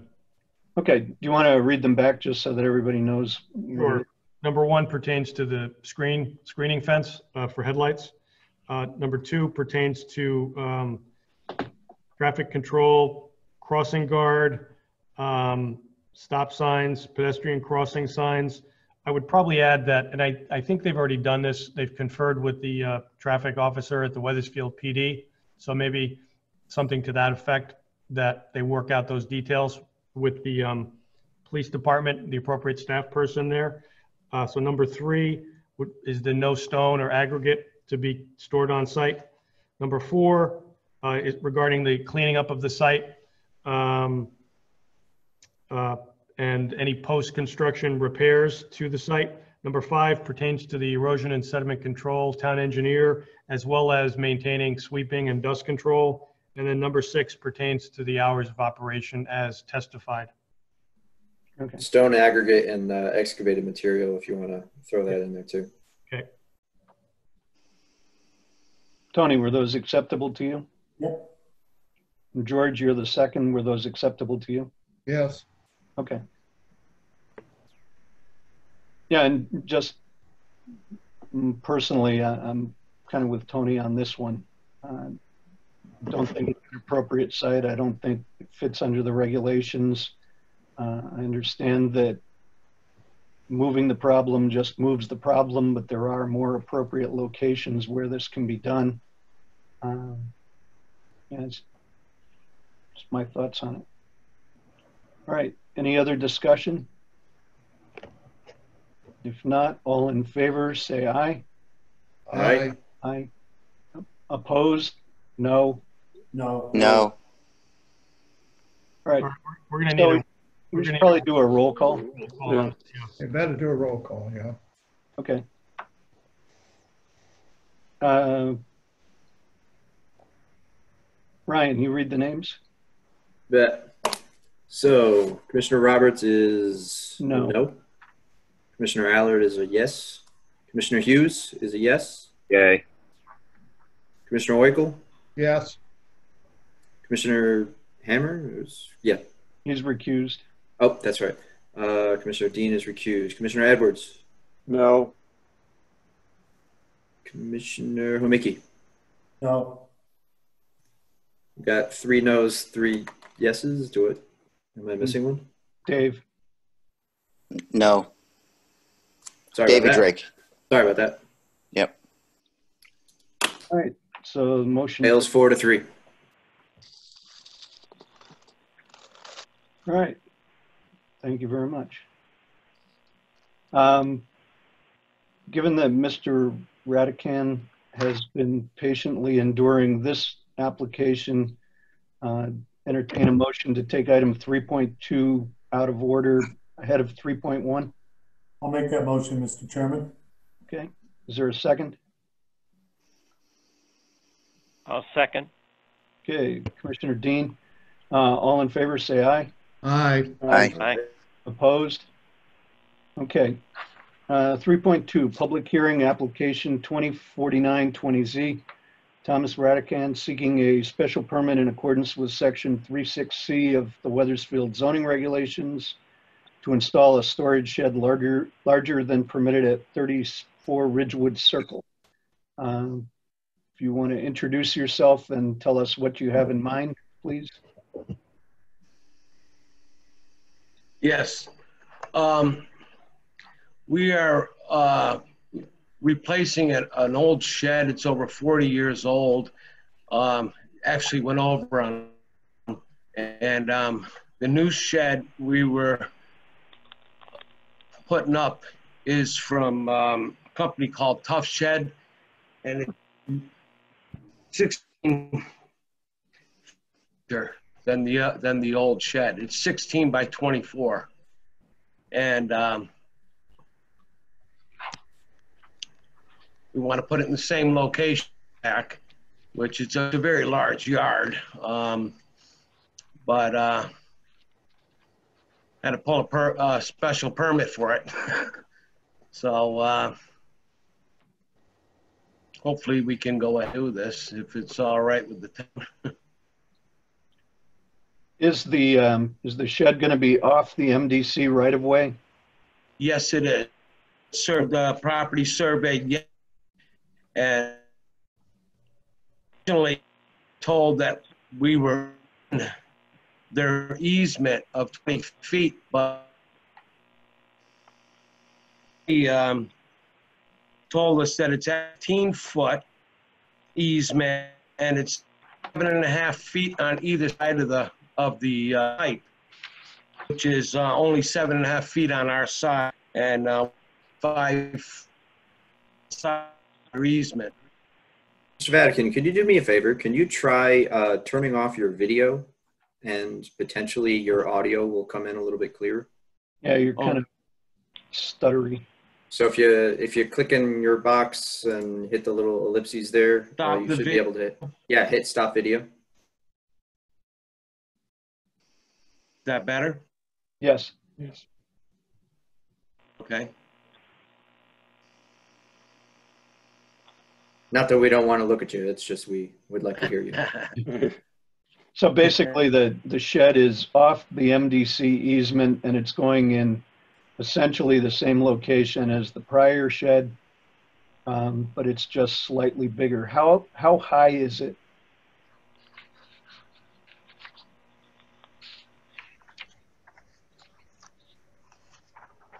Uh, we have the um, 15 feet 6? I think that's correct. It's hard to read, but, um, I don't have in front of me. I believe uh, that sounds right. Okay. It was, it was, uh, I was higher than the town allowed. And I, I have, oh, I find it right now. I got a mess of paperwork. Don't have that measurement. Okay. Is it on the same footprint in the first place as you got out there now with gravel? It's in the same foot, um, but it's, um, on one side. He keeps cutting out. Yeah. Yeah, it's in Now- the same general location, just slightly larger, I think is, Correct. And not going into the right-of-way, MDC right-of-way. No, it's going the other way. Okay, good. I, I, I've been down there, I saw the site, I walked it today. Uh, I'm satisfied that, uh, it's a big site. This is a relatively newer part of town. Uh, and, uh, the sites are bigger. And there's, uh, supposedly electric right away behind it on Wells Road. I've been going by it for 50 years. But, you know, I, I don't see it down in there, but it's there. And, uh, you know, I'm sure of that. But the, the point is, his, his neighbors are not impacted by this. Uh, even, even the neighbor to his left side, on the other side, the right, MDC right away, um, really has a tree that I think is big enough almost to shroud this. So, uh, it's, it's not, it's not going to imp- impact his neighbors or the neighborhood, in my opinion. I think it's fine that it's bigger than maybe the old one was. Yes, that, that, um, the gravel that you saw, um, it's actually, um, one side, eight feet more than the building actually is. And then I left a two foot, two foot of stone all the way around the building. So that's actually a much larger pad that you looked at Oh, than the building okay. itself. It actually was a very big pad, yeah. Yeah. So it's smaller by two feet all around? Okay. Uh, two feet by all around, except for one side, it's actually eight feet shorter. Um, I left for our, for the tractor to be worked on without And- working and- in the grass. Right, and this sits way down from the end of the cul-de-sac you're at the end of the cul-de-sac, this is much further down. It doesn't impede your neighbors, your neighbor off to the, on the other street has got trees up behind him and that kind of thing. So it's really uh, no impact on the neighborhood as I could see it. Unless people have a complaint and uh, they haven't seen fit to testify so far. And I sent the letter out on the 4th of August, so. And, and this is just going to be a regular storage shed for yard equipment and so forth. You're not going to be running a business or living there or anything like that? No, no, just, just for storage. Okay. Going to have any utilities in there, like electric? Um, right now, I'm not sure exactly what my parents have planned. They may, they may run, um, if they do run anything out there, um, they'll, they'll probably run an underground wire. Yep. Um, nothing overhead, but, um, I'm sure they're gonna want some type of light out there. The other, the other shed did not have it, but I'm not, I'm not sure. We didn't discuss any electrical work. It's just, right now, just a shed. Okay. Yeah, I mean, I'd be more concerned if you were talking about putting in plumbing or something like that. Oh, absolutely not, no. Okay, yep. Anybody else on the commission have any questions? Uh, If not, are there any members of the public who wish to speak on this application? Anybody wishing to speak? All right, if not, any final questions? All I think, I'm- is there a need to close? yes, please. A motion to close the hearing. Okay. Second. All right, second by Jim, motion by George. All in favor, say aye. Aye. Aye. Opposed? Okay. Um, Someone want to make a motion on the application itself? Motion to approve, Mr. Chairman. Okay. Is there a second? Second. All right, motion by George, second by Ryan. Any uh, discussion, conditions, stipulations? All right, if not, all in favor, say aye. Aye. Aye. Opposed? Abstain? All right. Congratulations. Thank you. All right. Um, Thank you for your patience. Item 3.1, public hearing application 2047-20Z. Town of Wethersfield seeking a zoning regulation amendment in accordance with section 101F of the Wethersfield zoning regulations for proposed low-impact design, LID regulations, various sections, and revisions to Appendix A site plan requirements, Appendix B plot plan requirements, and Appendix E as-built plan requirements. Uh, Peter, are you or Derek going to present the application?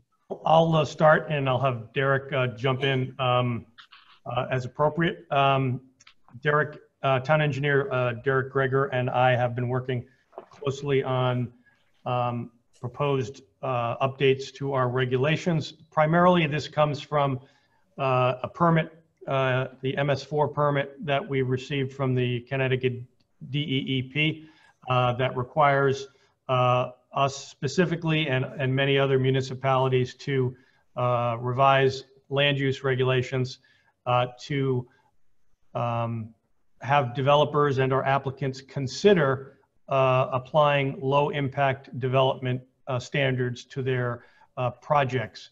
It doesn't necessarily mandate it in all cases, but on a case by case basis, they want communities such as ours to uh, require and discuss with developers the inclusion of, of those kinds of provisions. Pr- Primarily, those provisions apply to how they manage uh, on-site and off-site stormwater uh, so that uh, water quality considerations are made, uh, infiltration requirements are considered, and, and those kinds of things. Additionally, uh, and as part of these proposed changes, we've been talking about updating our site plan uh, regulations for several years. So we figured we would piggyback on these um, regulations and incorporate changes to our plot plan, our as-built, and our site plan standards. So I apologize, but the changes are pretty uh, voluminous. Uh, And if you were having trouble sleeping, uh, this, this would probably, probably have been a good uh, remedy for you for that. Um, So um, I can, I'll quickly summarize without going into uh, all of the minutia uh, for your benefit, I think. Um, So uh, there are 12 different uh, provisions that we've sort of categorized that we're proposing to change. The first pertains to applying some new definitions in our definition section that apply to these types of regulations. The next two sections deal with uh, re- revisions to our landscape regulations. Uh, The, the new language will include um, things like bioretention areas, filter strips, uh, and other low-impact development practices. Uh, We're also, uh, we've also added language that uh, basically right now, under your present regulations, parking lots must have curbing. Uh, Part of the uh, application of these kinds of techniques, in some cases, curbing would be eliminated so the stormwater can get into grass areas, swales, uh, basins, those kinds of things. So we've made some changes to the, uh, we're still requiring um, curbing uh, where it's appropriate, but we're also allowing some flexibility so that it doesn't have to be there. But aren't you recommending on occasions when applications come in, that we eliminate the curbing? I mean, I thought you'd been doing that right along. I, I think you need curbing uh, in most projects, but in certain areas of projects, you can do without it in order to get these low impact development standards in place. So it's a combination of both. Uh, the next one, two, three, four, four sections pertain to the parking regulations because obviously our parking regulations have a lot to do with how stormwater is managed. So we're making uh, some changes there uh, to encourage, um, you know, uh, minimal minim- minimization of pavement where we can do that. Um, We're providing some incentives uh, for parking reduction if you use low-impact development. So rather um, than using a stick, uh, there's a little bit of a carrot in the regulation. So if you're considering low impact, we might be able to give you a reduction uh, in the amount of required parking. Um, We're also putting language in there that pervious materials are also encouraged uh, in the parking standards. And then there's a, a section that's simply a clarification. that Wait a minute, instead, instead of paved, instead of uh, asphalt paving, you would suggest impervious blocks and stuff like West Farm? Potentially, there's also um, asphalt paving that is more uh, porous, that allows the rain to get into it, uh, use of brick pavers. There's, a- there's a whole host of different types of technologies now uh, that could potentially, um, there's also, you know, grass parking that's reinforced. There's, there's Right. all sorts of things, and you would obviously review those on a case-by-case. Haven't we been getting some of that in already in our largest, newest projects? I thought we had. We've been doing this and trying to do this where we can, but right now we have no regulatory uh, provisions that. For it, so this. So So it's not really adding to what we're already almost requiring in many ways. No, it's really just codifying it in your, in your regulations. Regs, okay. Uh, we've also added, uh, an entirely new stormwater management section. We don't have that now, that provides guidance on, uh, what kind of calculations we need, those kinds of standards that we have not had before. So we've added a new section six point one three. And This then, does, hold it, Peter. This doesn't apply to residential zones, does it? No, Just this- commercial. commercial and multifamily. Yep, okay, thank you. Um, Some towns have gone as far as to apply it to uh, residential properties, but um, the administration of that, as you can imagine, uh, is, is a bit of a, bit of a nightmare. Uh, Towns are actually, who have done it, uh, for example, Newington, uh, is now taking those things out of their regulations because they were just um, very difficult to manage. Very difficult, Peter. I walk the town a lot these days, but I'm still chairing a a sidewalk and walking committee we don't have right now. But uh, when I do walk the town, I see everybody's residential, a lot of them, little old pipes coming out to the curb, things like that. It'd be hard to enforce in the residential areas. The older town, we're all developed. It could be difficult. Yeah, we're, we're already understaffed, both in the planning department and in the engineering department, to, to not have to take on that additional uh, responsibility, so. You wouldn't want to do that. It'd be awful. And then to summarize, the, the last three provisions are, we are um, uh, updating our site plan requirements, um, and, which includes language that encourages low-impact development. We're uh, updating our plot plan requirements. Those are primarily for residential properties. And then lastly, uh, we're adopting some new uh, as-built standards that we really don't have right now, so that after a project is built, they have to provide us with uh, details as to what was built, where it is, uh, so that we have documentation uh, of that. Um, so those are the 12 provisions in the regulations uh, in, in summary that we are proposing. Uh, as I said at the beginning, we, um, we are uh, required to do this through the DEEP. Uh, we have already been doing this to a certain extent. This just puts the authority uh, in your regulations.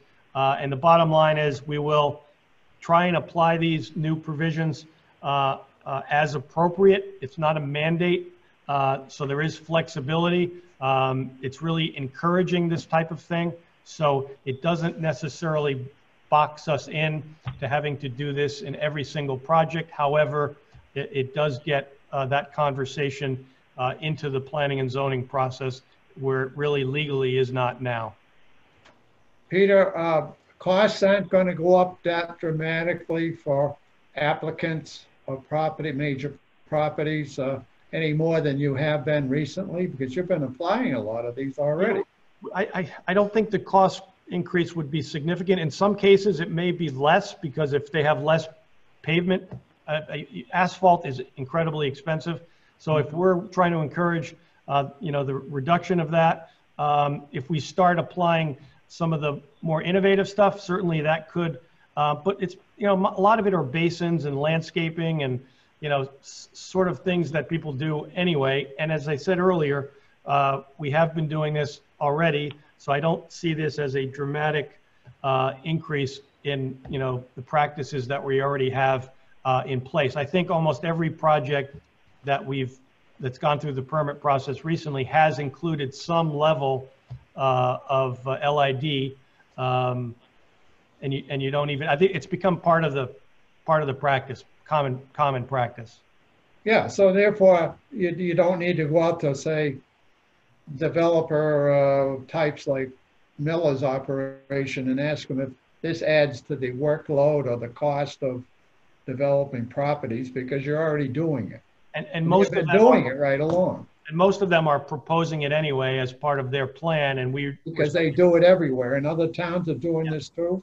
to be honest, we're uh, quite far behind most other towns uh, by, by many, many years. So this is um, kind of long overdue.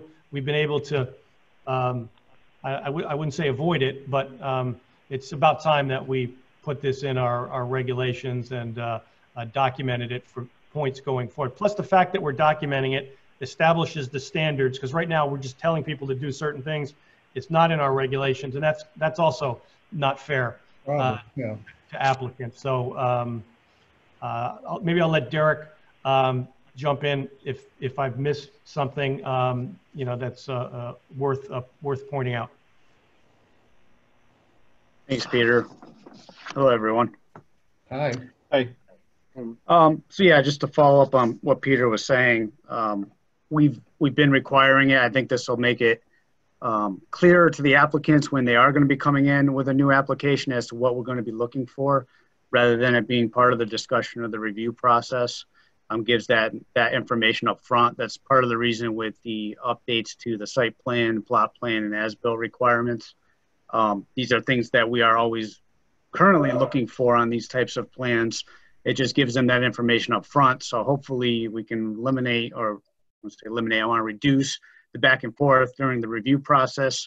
Also, I think it, you know, it benefits the, the applicants or the developers and their engineers to know upfront, this is what the town's going to need for pricing when they're evaluating what they're going to need to do in scoping out their projects. At least it's all there and available. Um, the new additions to the regulations, um, Peter mentioned their DEP requirement as part of our MS4 permit. Um, you may remember the town has, they're under DE permit, DEP permits now as other municipalities are to um, address stormwater uh, quality and control. And this is one of the things that is required of all towns is to have something uh, in the regulations that gives us some teeth with regard to it. It is still um, not a mandate, It's not a mandatory requirement. It's just something, as Peter said, to have in the discussion and try and move our developments um, in this direction. You may have noticed on uh, plans that have been coming through, we've been asking them to track, you know, impervious areas, how much is on the site before they build, how much will be on the site after. That's something we, we've been tabulating now for the last couple of years with the goal of trying to reduce the overall impervious area throughout the town um, throughout the duration of the permit. So this will help us um, in, in that uh, requirement that we're needing to meet. Um, the only other thing I wanted to mention is we are making similar changes to the uh, inland wetlands regulations. That commission uh, will be meeting this week and reviewing some of the changes. Uh, we have been coordinating the text and the language between the two regulations to be sure they're consistent. Um, where it's necessary, it meets exactly what is in our DEP permit, so it's clear. And uh, we're just trying to make the changes to all the regulations that will cover it. I think we had talked um, at some point we need to look at our subdivision regulations that haven't been um, updated in a while. Some of this information uh, should go into that as well. But initially, at least, we wanted to get it into the zoning and wetland regulations uh, at first, because those are the ones, those types of applications we see the most. Thank you. Does anybody else have any comments or questions on these? I'd be Uh, happy to. just, uh, uh, I do, if I might. Okay, Tom. Uh, uh, I noticed that in the as-built uh, uh, regulation requirements, I, I, I, there, it may be in there, but I didn't see it, and that's the format for for the as-built. And uh, is there? And I didn't see any language about uh, whether or not uh, as-built can be submitted in a digital form as opposed to paper, which has implications for both storage and and also uh, perhaps long-term durability of, of what's filed with the uh, with the town. Probably this is maybe more appropriate for Derek. Yeah, that's something we had discussed.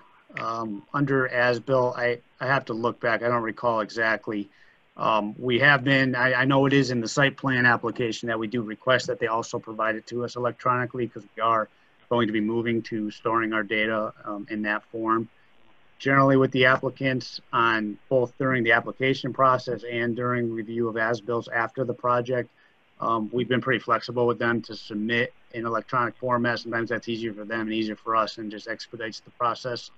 Um, so we are working towards that, but that's something uh, we could take a look at for the as-built to make sure that um, we have that listed in there, similar to the other um, requirements. Yeah, the reason why I mention it for the as-built in particular, that's that's the final uh, submission would be the as-built, and that's the you know the permanent record for the project. And uh, it just seems that that's a more efficient way of of of storing it and having it uh, stored efficiently and, and effectively and permanently for both the developer and, and the town's uh, interests. I, I think looking at page 27 of our submission um, for as-builts, uh, we do have uh, a statement in there about um, being submitted in electronic format. This is a digital copy of the final approved as-built record drawing. That is an identical copy of the drawing in the form of a PDF with a dig- digital signature on the plan um, pursuant to the state regulations. So yeah, we are looking for that as well. And, um, you know, I think that'll benefit us going forward as far as being able to uh, maintain our files. Okay, I just didn't see, I didn't see any reference to digital, so I stand On, corrected. uh, it's On D, page D3 on page 27. 27, yep. Uh, I didn't make it to page 27. Yeah, it's the Didn't make it- first, Didn't make Yeah, it I, to I'm page looking two. at page 27. I, I don't see it, but uh, I'll take your word for it that it's It there. has, the- it has the new digital signatures too. yep, it's on there. Yep. Eric, I think one of the first times this came to us was the former Puritan, Oh, okay, I see it. Yeah. former Puritan furniture site. Uh, Would I be able to assume that from now on, once this is approved, that we're gonna have a lot more detail on some of the site plans for the commercial properties and it's going to give a lot more work for you to do, or do you have the support staff to, to, uh, to get to that much detail? Or is it assumed that the private sector will be coming in and knowing this is aware, bringing all these details to your attention? This is information we currently are requiring anyway. Um, I think it's better just to have it up front and they know what we're looking for. Um, from experience, I, think we're going to find a lot of engineers are going to submit and they're still going to be lacking information we're going to need. Um, but at least we'll move the ball a little further in that respect and hopefully, like I said, try and cut down some of the back and forth. So as far as the amount of information, it's going to be very consistent with what we have been seeing with the addition of when they can incorporate LID into their developments, you know, we, will be looking for them to do that when they can. Um, but other than that, I think the uh, the information we're going to be reviewing is going to be very similar. Thanks.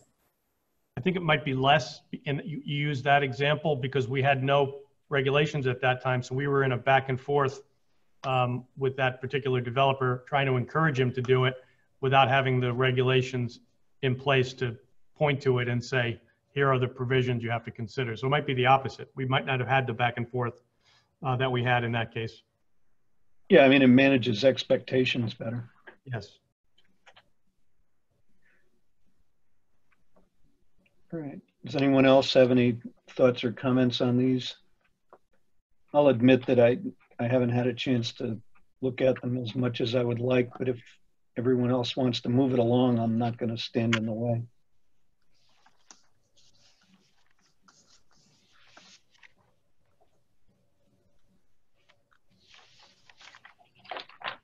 Is there anyone in the public that would like to comment on these applicate, on these proposed regulations?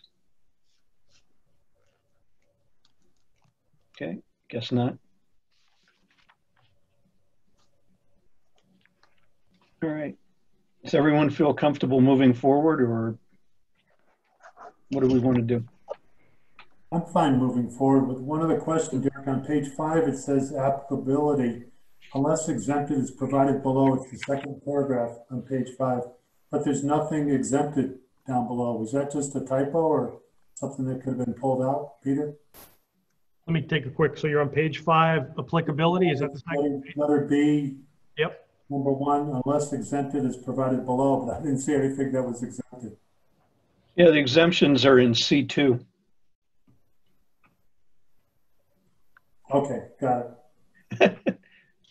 There is no A little C2. bit of a void there, isn't there? Yeah. There's a gap, yes. There's a one, it goes for one, three, four, so we need to obviously tweak that a little bit. Like going up an elevator in a, in a hotel, huh? There's always one floor missing. No, 13th.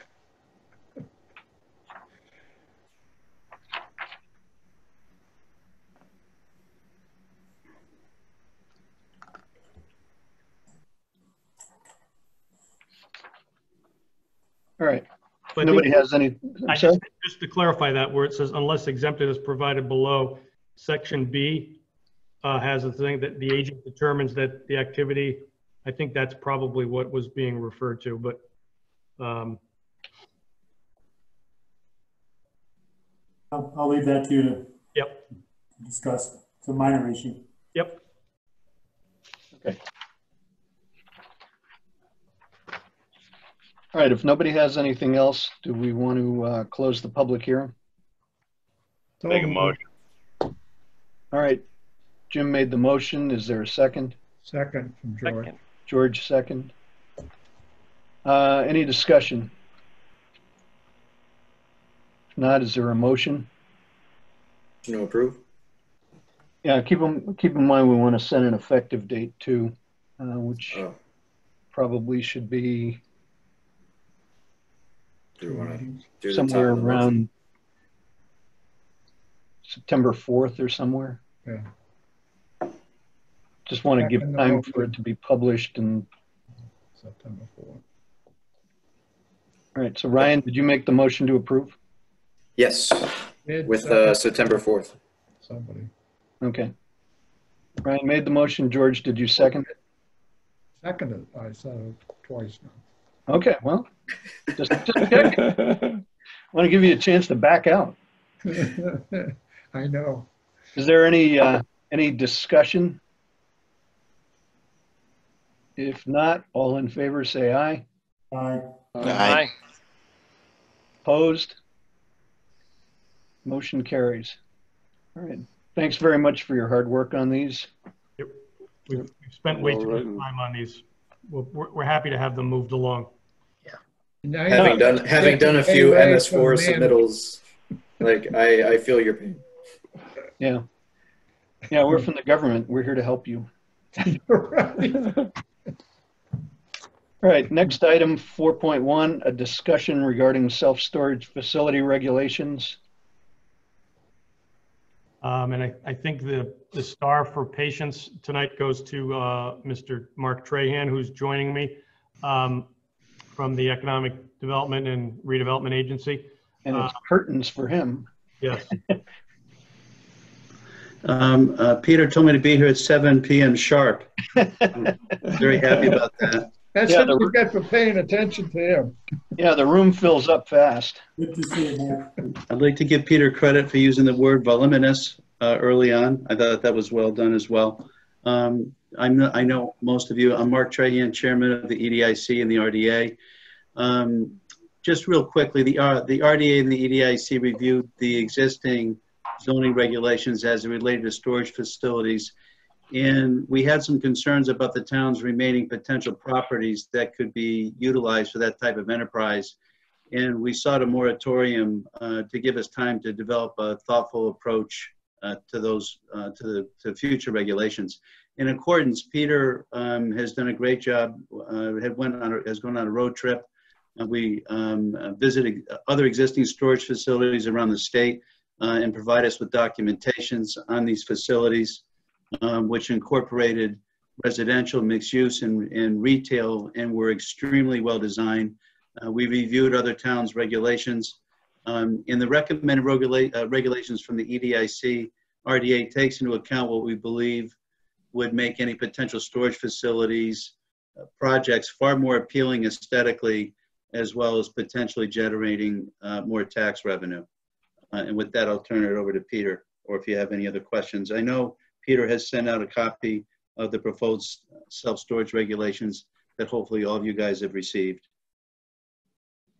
So thank you, Mark. Um, and on a related note, at your next meeting, um, if you recall, we had a, uh, basically a one-year moratorium on the submission of new applications for self-storage facilities.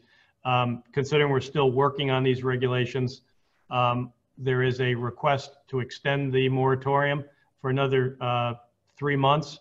That will be, I, I- won't get into the details of that, but that will be on your next agenda for discussion before the moratorium expires. So I just wanted to, uh, while we're on this subject, just make you aware of that. So that's September 1st. Um, As, as Mark indicated, uh, we spent um, some considerable amounts of time researching uh, uh, what's going on with the self-service, uh, self-storage industry in Connecticut, uh, what communities are doing uh, with their regulations, um, and uh, what the trend uh, is, not just in Connecticut, but in other states. So some of this language reflects language from, from other communities outside of Connecticut. Um, and the EDIC itself met several times to go through all of these issues so they fully understand it before they were making recommendations um, to you guys. Uh, so these are just the draft uh, regulations, and we're more than happy to uh, go, go back to the table, do some more research or whatever direction we might get uh, from you folks before we submit a uh, final uh, regulation amendment application.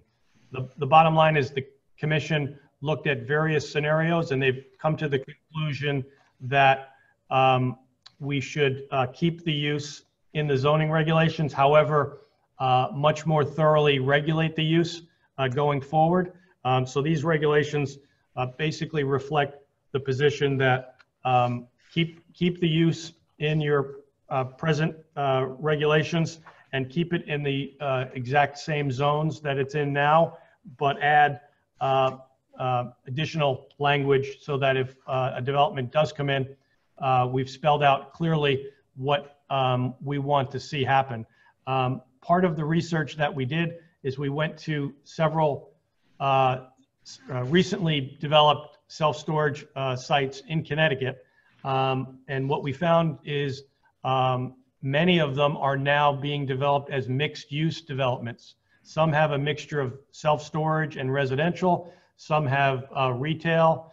Um, so uh, we found that um, a good philosophy uh, to build on in terms of these regulations. So uh, very, very briefly, and I, I know you do have uh, copies um, of the proposal. It's basically two pages of regulations that we would recommend that you consider. Uh, The first provision would be to add some new definitions. Right now, we don't define what self-storage is, so we would add uh, some new language um, which defines self-storage, but also defines mixed use. Um, We have some mixed use regulations now, and we don't have a definition uh, for, for that either. So this will help in that regard as well. Um, As I said earlier, uh, the second provision is we would continue to permit the uses uh, as special permit uh, uses requiring a public hearing uh, in, the- in, in the RC and the BP zone, which is presently how we do it today. Um, The third provision are, are probably the most important provisions. There is a series of uh, probably 15 to 20 different new standards. Um, The philosophy would be that um, the, these self-storage projects would have to be at least three stories in height. We would no longer allow the one-story garage-style uh, self-storage facilities that we have in town. Well, we have in some cases in town. Uh, We would mandate that they be at least three stories in height. Um, We would mandate that they also be mixed use, so they would have self-storage, but they would also have some other component um, of that. We did find that the multi-story um, self-storage facilities here in town generate a surprising amount of tax base. Not that that's the uh, bottom line, but I think it's um, something to just be aware of, that they, um, they do generate uh, a surprising amount of taxes. Um, And, and no school kids, right? Yes, no, no school kids, not much Not parking, right? very little parking. Um, So there are, a whole. I won't get into all of the provisions if you have questions, but we've got some, all sorts of new standards on, on design requirements. Um, Certain amount of uh, percentage of the facade has to be a window um, so that it has the look and feel uh, of something other than a self-storage facility. Um, So there's uh, all sorts of provisions in here that deal with aesthetics that we don't have now. Obviously, the design review committee would have to uh, be integrally in- involved in uh, the review of these. We've also got some separating distance requirements. Uh, We've added a 1.5 uh, radius, 1.5 mile radius from similar facilities so that uh, there won't be a proliferation of these in any, any uh, one, uh, one area of town. Um, On the Silas Deane Highway, for example, which is about three miles in length, we've got one basically on the north end and then nothing elsewhere. Um, The Berlin Turnpike may be problematic for future uh, siting of uh, self-storage, but uh, that is something the EDIC uh, felt pretty strongly about having a separation distance. So um, I think one of the things too, Peter, if you could share with the commission the pictures of some of the facilities that you took so they have an idea on what we were looking at, I think it's quite eye-opening. And a lot of the stuff they were doing from an aesthetics perspective, very similar to some of the stuff you guys were discussing this evening was um, that um, the fencing and walls and landscaping around um, is, is something that we're very, very focused on because a lot of potential sites or the handful of potential sites for facilities like this are surrounded by residential neighbors, uh, neighborhoods. Uh, and we want to be very mindful on the, um, and I know the design review would do a good job, but we wanted to add as much uh, teeth up front to the regulations as we could uh, to make sure that the residents in and around these areas would be happy uh, with these, or as happy as they can be, if you will, with projects like this. And, and- and I, when we did uh, look at the various sites, we did take a whole bunch of photographs, so we will have those for you uh, at the time we present the uh, regulations, so you know uh, specifically what we're talking about. And then When lastly, do you- when do you want questions, Peter? anytime, jump right in. Oh, oh, yeah, sure. Pretty much. Well, why do you have to have mixed use? Why couldn't you not have DUs, for example, uh, with a storage facility? There's a philosophy that because these aren't um, high activity generators, they create dead spots in your commercial districts. So uh, they're low parking need. Uh, they don't have a lot of uh, activity a lot of times. So in in a lot of cases, they create these dead spots in your commercial environment. So we wanted to uh, maybe compete with that um, and require additional activity. It also intensifies the development uh, from an economic development point of view. Uh, as I said earlier, that's not the primary uh, purpose of these regulations, but Yeah, but that's part of the requirements in the state statutes that we provide for economic development. true, but, but it's not the sole. Yeah, sure. Right. No, but I, I mean, I was wondering why you insisted on it, but, uh, you mean, there's no exception, but you're gonna have, you're gonna have preliminary discussions. You're gonna require a preliminary proposal, Pre-application, discussions with both you and the commission, right? right. Uh, now, here's a, here's a strange thing for somebody like me who worked 20 years in the state housing department. Uh, but why do you say the dwelling units should be, uh, have to be part of a proposal? It, it does, the, the mixed use does not have to be, uh, storage. It's one aspect. It could be retail, it could be other things. It just has to be something in addition to self-storage. It's not limited to, to residential as the other, uh, Get rid of the dead zone aspect and all of that? Is that part of it too? And That- that's economic improvement, it enhances it? primarily. Yes. Yeah. Okay, but you're saying it has to in there, I think you said, but, It has to have some use in addition to self-storage. It doesn't have to be residential. It could be commercial or office or oh, okay. retail or something other than just self-storage on its own. Okay, then why three or more stories? Because that seems to give the quality and the uh, value to it if you have it bigger. That's part of it. I, the, the Economic Development Commission is keenly aware of our limited development opportunities. Uh, to have a one-story garage style spread out over lots of acreage does not maximize the development potential of these sites. So they felt they, they'd rather have a more intensive development. And quite frankly, they look a lot better. Uh, they look, they can look like office buildings. They can look like multifamily. Uh, it, it has some uh, more gravitas, let's just say, than those single-story garage style that you've traditionally, you know, these are not your, uh, you know, your your your grandfather's self-storage fa- facilities these days. They've You're, evolved. you're whole- trying, this is part of the good quality of development you want Yes. and the high economic value to them. And to support what. to I support want to see and hear too. So what you're saying, three or more, yeah, but I just wondering why that arbitrary level, but. And, and then the last, my last question was corner lots. Why no corner lots? I, I guess a safety issue, but I, I, you may No, have other reasons. Go Those, you know, those corner lots tend to be your, you know, your 100% intersections, high profile. Um, you would probably prefer to have something, you know, um, In other words, you don't want Lemoore's to be taken down and something put up there like this, right? Uh, typically. you Don't don't- answer that. You're only going to get in trouble. I'm just kidding. I w- I wouldn't speak specifically to Lemoore, so I would, gen- I would be more generic. You better not. Okay. I think to support uh, Pete's position too, George, um, the images that he'll send you that the industry itself has realized that building up versus building out is better value for the developer as well. It's better use of space. And a lot of the designs that you'll see um, are multi-storied. Um, uh, the industry has come a long way from a design perspective. Good, I agree. And then particularly here in Wethersfield, the land is getting more limited. Yes, yes. Pe- Peter, um, you, in here you say other uses. Do you want to give examples to kind of guide people with what kind of uses we want?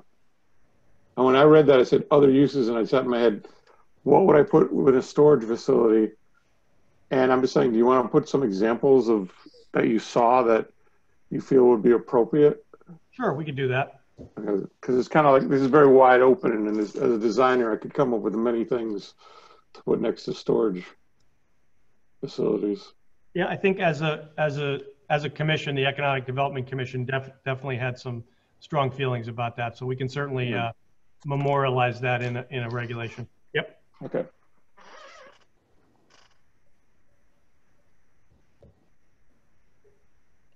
So we, we just wanted to give you a, a sneak peek uh, of uh, something that may be coming uh, down the down the horizon, down the down the road uh, in the next uh, month or two before we uh, finalized it. So if you have further comments or questions and you want to reach out to me offline, I'd be happy to happy to do that too. Or if you want to mark up your copy and send it my way, uh, I'd be happy to also uh, do that. And then, uh, as Mark indicated, uh, the commission did a whole bunch of research, so we will provide you with all the background, uh, all the photos, all the examples of things that are happening out there, so you get a better sense graphically, um, you know, what we're talking about, rather than just in a in a regulation. I think some of the some of the photos that Mark was mentioning will uh, really clarify what we're trying to uh, accomplish with this with this regulation. Good job on this, guys. And uh, just one final question came up while you we were talking before. Why the one and a half mile limit? And I wrote that down. We, we talked about a bunch of different uh, distances. Um, when you lay it out uh, on a map, we did that just to see what areas were going to be impacted. Um, and it provides some some room. It it uh, You don't want them too close together, in other words. Yeah, you don't want them clustered. We don't have an industrial park, which these sometimes would traditionally be found in. Most of them now are, are being built on commercial corridors like the Berlin Turnpike and like the Silas Deane Highway in other communities. So we didn't want to preclude, you know, the opportunity for this. There is, there is one or two, there are one or two sites uh, that we know people are kind of interested in, and we wanted to, you know, not necessarily exclude those. So that one and a half mile uh, numbers worked for a couple of different reasons. But It is a big, it is a big number. It's a big distance. So, so we could talk about that further, but that seemed to make some sense. And I can provide you with some information so you can get an idea of what areas it would still be allowed to happen in. Yeah, that, that'll be helpful when we get to that point. Yep. You know, kind of do a radius around existing ones. I have, I have that already. So Okay, good. All right, that was just for discussion. Does anybody else have anything we want to uh, talk about on that before we move on? All right. Thank you, gentlemen. Uh, Next item, minutes, July 21st. Thank you for your time, guys. Thanks, Mark. Thank you. Yes, thank you, guys. Very good job.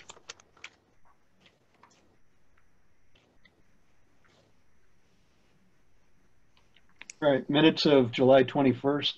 The only comment I had was that uh, as much as we like Chairman Harley, he wasn't there to note that there were only five members present. I think he was there for uh, like a minute or two at the beginning. Until he found out that he didn't need to be there. He, he bowed out before it Like started. his shoes were on fire to,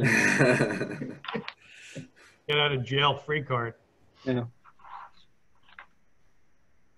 Okay.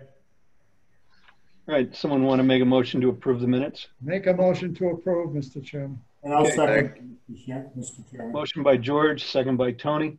Any discussion? Not all in favor, say aye. Aye. All right. Aye. Okay. Opposed, abstentions? Abstain. Dave abstains. Abstain. Jim abstains. All right, um, next we can do our organizational meeting if people are up for that.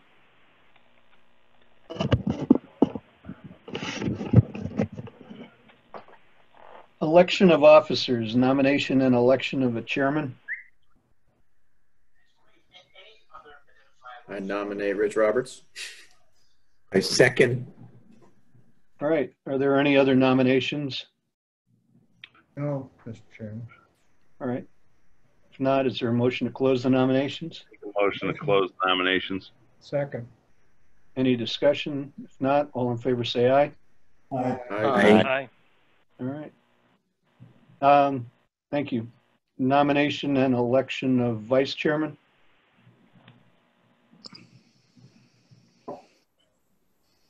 It's pronounced Ryan Allard.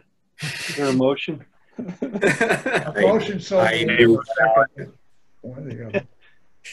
I'll second the motion, Mr. Chairman. Okay, Joe made the motion, Tony seconded it. Are there any other nominations?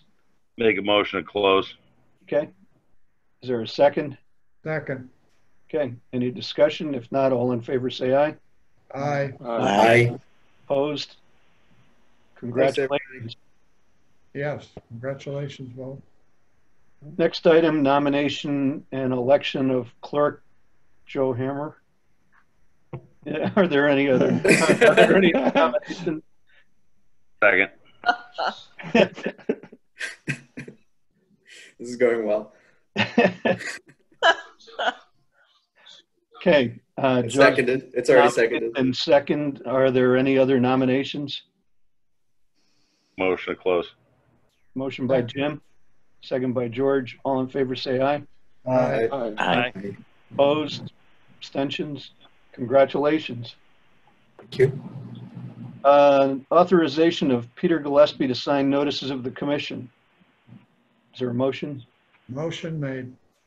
Okay, George, Second. second by Jim. Any discussion? If not, all in favor say aye. Aye. Aye. aye. Opposed? Uh, Authorization of Derek Greger to sign notices of the commission. So moved. So moved. Okay, moved by George, second by Joe. Any discussion? If not, all in favor say aye. aye. Aye. Aye. Opposed? Uh, Appointment of Gary Evans, Town Manager, as ex officio member. So moved. All right. Second. Motion by George, second by Ryan. Um, I think he has to be here at all of our meetings, though. Yes, it's a condition. Uh, Any discussion? If not, all in favor say aye. Aye. Aye. Opposed? Okay. Uh, Nomination of election and an alternate to the Regional Planning Commission of CROG. Do we have any idea who's doing that now? The, the reports have been riveting. I think that's Jim Hughes. Oh, okay. Yeah, it was Tom Harley and then oh. Jim Hughes, yeah. All right. Does anyone want to do this? Ryan Allard would be great. What? I heard, I did that already. I was, uh, I think I knocked it out of the park. You're, you're the guy. You've already warmed up. I think I knocked it out of the park. That's the park. way Ryan avoided. Don't go to that place. I want to give somebody else a chance. I did it both officially at the state level and, and from commission. You could, th- you could throw me in there. That's fine. Okay. Um, Jim, were you willing to stay on as an alternate? Yes. All right. How many meetings you been to, Jim? Oh, I, I'm zooming all over George. Okay, the, um, the motion would be to nominate Ryan as the representative and uh, Jim as the alternate to the Regional Planning Commission of CROG. Is there a motion? Motion so made. Second. Okay, motion by George, second by Tony. All in favor, say aye. Aye. Aye. Opposed? Good. Uh, Liaison to Economic Development and Improvement Commission. Jim doing this too? You guys are funny. Jim, if it's any, if it's any consolation, the, the meetings are at lunchtime and oftentimes there's lunch provided. Not anymore. Often. Yeah, virtual lunch. Virtual lunch, yeah. BYO.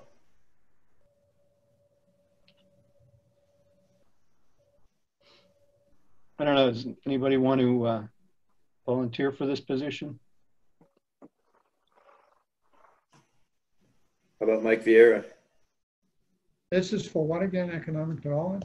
Yes. EDIC, yeah. Uh, yeah, I might like to do that. All right, that's all we needed to hear. Someone else Uh, wants it. Is there a motion He's not here. quickly? Move, George. Second. Okay. Any discussion? If not, all in favor say aye. Aye. Aye. Aye. And readoption of the rules and procedures. I guess last year when we were talking about this, I had said that I had some comments and I was going to get to Peter on them and I never did. So, That was last year, you said? yeah, that was last year. Okay. Uh, We had, it was pre-COVID. We could always um, approve them and then put it on a future agenda and vote on it during the regular year. Yeah, that's probably fine. Yeah. Um, Is there a motion to approve the rules and procedures? So moved. Okay, motion by George, Second. Second by Ryan. Any discussion? If not, all in favor say aye. Aye. Aye. Opposed? Abstentions? Okay, thanks. Uh, Staff reports. Um, As you can see, we got a couple of applications coming up at the next meeting, so that should, I think we'll have three hearings uh, at your next uh, meeting. Um, We, uh, if you've been by the uh, Puritan site, they're starting to make some progress there. Just so you know, they found all sorts of surprises under the ground. Um, They believe that the brook that runs through there actually at one point ran through the middle of the site, and the site was um, dramatically filled in. So they're uh, a little bit slowed uh, on the progress of that project because of that. Um, The, um, Are they filming the, the curse of Oak Island on that property now? or- yeah, you're finding all sorts of stuff. So um, What's the big mound down there? that's the processed, um, it's fill material. They processed a lot of the um, concrete and The other building. material. So, yeah, Yeah, yeah. Pavement, the building, the, the slabs. Yep, yep, they churned it all up and are going to use it for uh, uh, raising the grade of the site, structural. How's Chase, how- how's the Chase site coming? I don't see him tearing that Yeah. down. They've had a, they've had an excavator there for several weeks. They're still, believe it or not, waiting for the DOT uh, permit. DOT permit? Yeah, well, it's a, it's Silas Deane? it's a major traffic generator because it's commonly owned, all those properties, and they're modifying it. But believe it or not, they're still waiting for the DOT. I think they've been holding off on the demolition until they're assured that they have that in hand. Um, So, um, so, so those are probably the highlights. Um, There's a couple of, um, you may have seen the, um, up on the Berlin Turnpike, the Pet Supply Plus building, if you remember, Tuff Shed was going to go in there. Uh, The property was purchased by a new owner, and they were able to bring Tuff Shed uh, back again.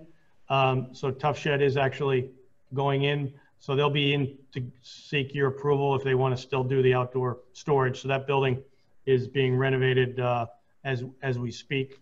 Um, Thanks, Peter. I wondered what was going in, you know, after the big fire yesterday over there. Yep, yeah, that was quite a, quite a shocker yesterday.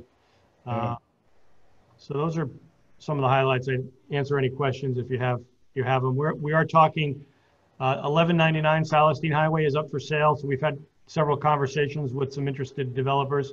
Uh, So nothing to specifically report, um, but um, there's some potential uh, there for that building. And then obviously, we, we, we have been talking to several people about 1000 Silas Deane Highway again, but that's uh, pretty much par, par for the course. I think we're going to focus on trying to get the owner there to demolish the building finally and, you know, get a, a site that's easy. Yeah, Pe- Peter, I never get comments from people in town about things and sites. I keep asking about, of course, the uh, one up in Jordan Lane, the- but they keep the property up even though it's, you know, not used any longer, you know, the uh, The nursing home. nursing home. But the one thousand is brought up to me once in a while and nothing else ever. But that, people aren't concerned with that. so. Yeah, we've had some pretty serious meetings recently with a couple of people, but, um, you know, we, that's happened so often. Um, that I think, uh, we've come to the realization the building should be demolished and, uh, that's, I think that's gonna be our next. We, we do have some money that we can assist with that, uh, the, the Economic Development Commission. Uh, so I think that's maybe our next conversation to see how seriously we can push that along. I think that's a good move, clearing the site, should help. Yeah, I mean, that, that had been an impediment, at least psychologically, to a lot of people in the past. Yeah, I think if the building was gone and people saw the size, you know, that's a three acre, three and a half acre site. Um, uh, you know, I think you'd see some action relatively quickly. So, and the Borden, uh, project is, um, uh, they've, uh, I think they've been very happy with the leasing, uh, of all of the, uh, apartments. Uh, they're, they're making some progress also on the commercial leasing on the ground level. Um, they haven't, uh, announced, um, uh, who the restaurant's going to be yet, but I think they, they have somebody and, an announcement might be made shortly on that. Hey, Peter, have you uh, resolved the issue down with the Charles Restaurant and the parking down there? I, I've, I've got a complaint or two. I won't tell you where it came from, but You know, it's, it's still a, a, a work in progress. Um, he has come a long way, um, from, from when he first opened. Obviously, it doesn't help that the parking lot is uh, unavailable because of the tent. right. But, um, he has, um, you know, more and more people, uh, are getting the message about parking in the Keeney. Um, I think his repeat customers now. He's got a lot of signs out there, I know. Uh, Encouraging. He's, he's been trying to work with the neighbors and the neighbors have been trying to work with him. So we're also looking at some other, other options. We're going to be having a meeting with the police and the uh, physical services to talk about some other options. Um, so uh, I haven't received, uh, at least myself personally, the, the, the complaints that I did at the beginning. So it leads me to believe that things have kind of reached uh, at least a level of equilibrium. Obviously, when his parking lot is available, that will, but, but how, who knows how long, you know, that's going to continue. So um, um, I, I think it's beginning to get uh, worked out. When he kicks up to the next phase, when the occupancy can go higher, I think that's when we're going to have to have a conversation about um, some more substantial things happening there. Peter, now that First Church has repaved their whole parking area, which I'm glad they did, and it looks nice, uh, is the town going to have any discussions with them about using the parking in a public sense like we did last spring? We've met um, with the First Church uh, leadership a couple of times. We've actually uh, submitted to them a proposal that we're waiting for a response on uh, about having a potential shared use of that uh, to support some of the businesses down there. So uh, that is a, a work in progress, and we are actively uh, working. We're also talking to Trinity Church as well. Um, so we're taking a, a little bit broader approach than we've had in the past. Good, good move. Thank you. All right. Uh, any public comments? I don't see any public. Anything else for the good of the order before we adjourn? Uh, If not, is there a motion to adjourn? Motion to adjourn, Mr. Chairman. I'll Second. Tom seconds it. All in favor, say aye. Aye. Aye. Opposed? Thank you very much. Have a good evening. Happy uh, Labor Day for everyone. Yes. Oh, we meet before then. Happy Labor Day. We meet before that or after that? Yeah. Where No, are you going? Yeah. First is before. Yeah, we meet the first.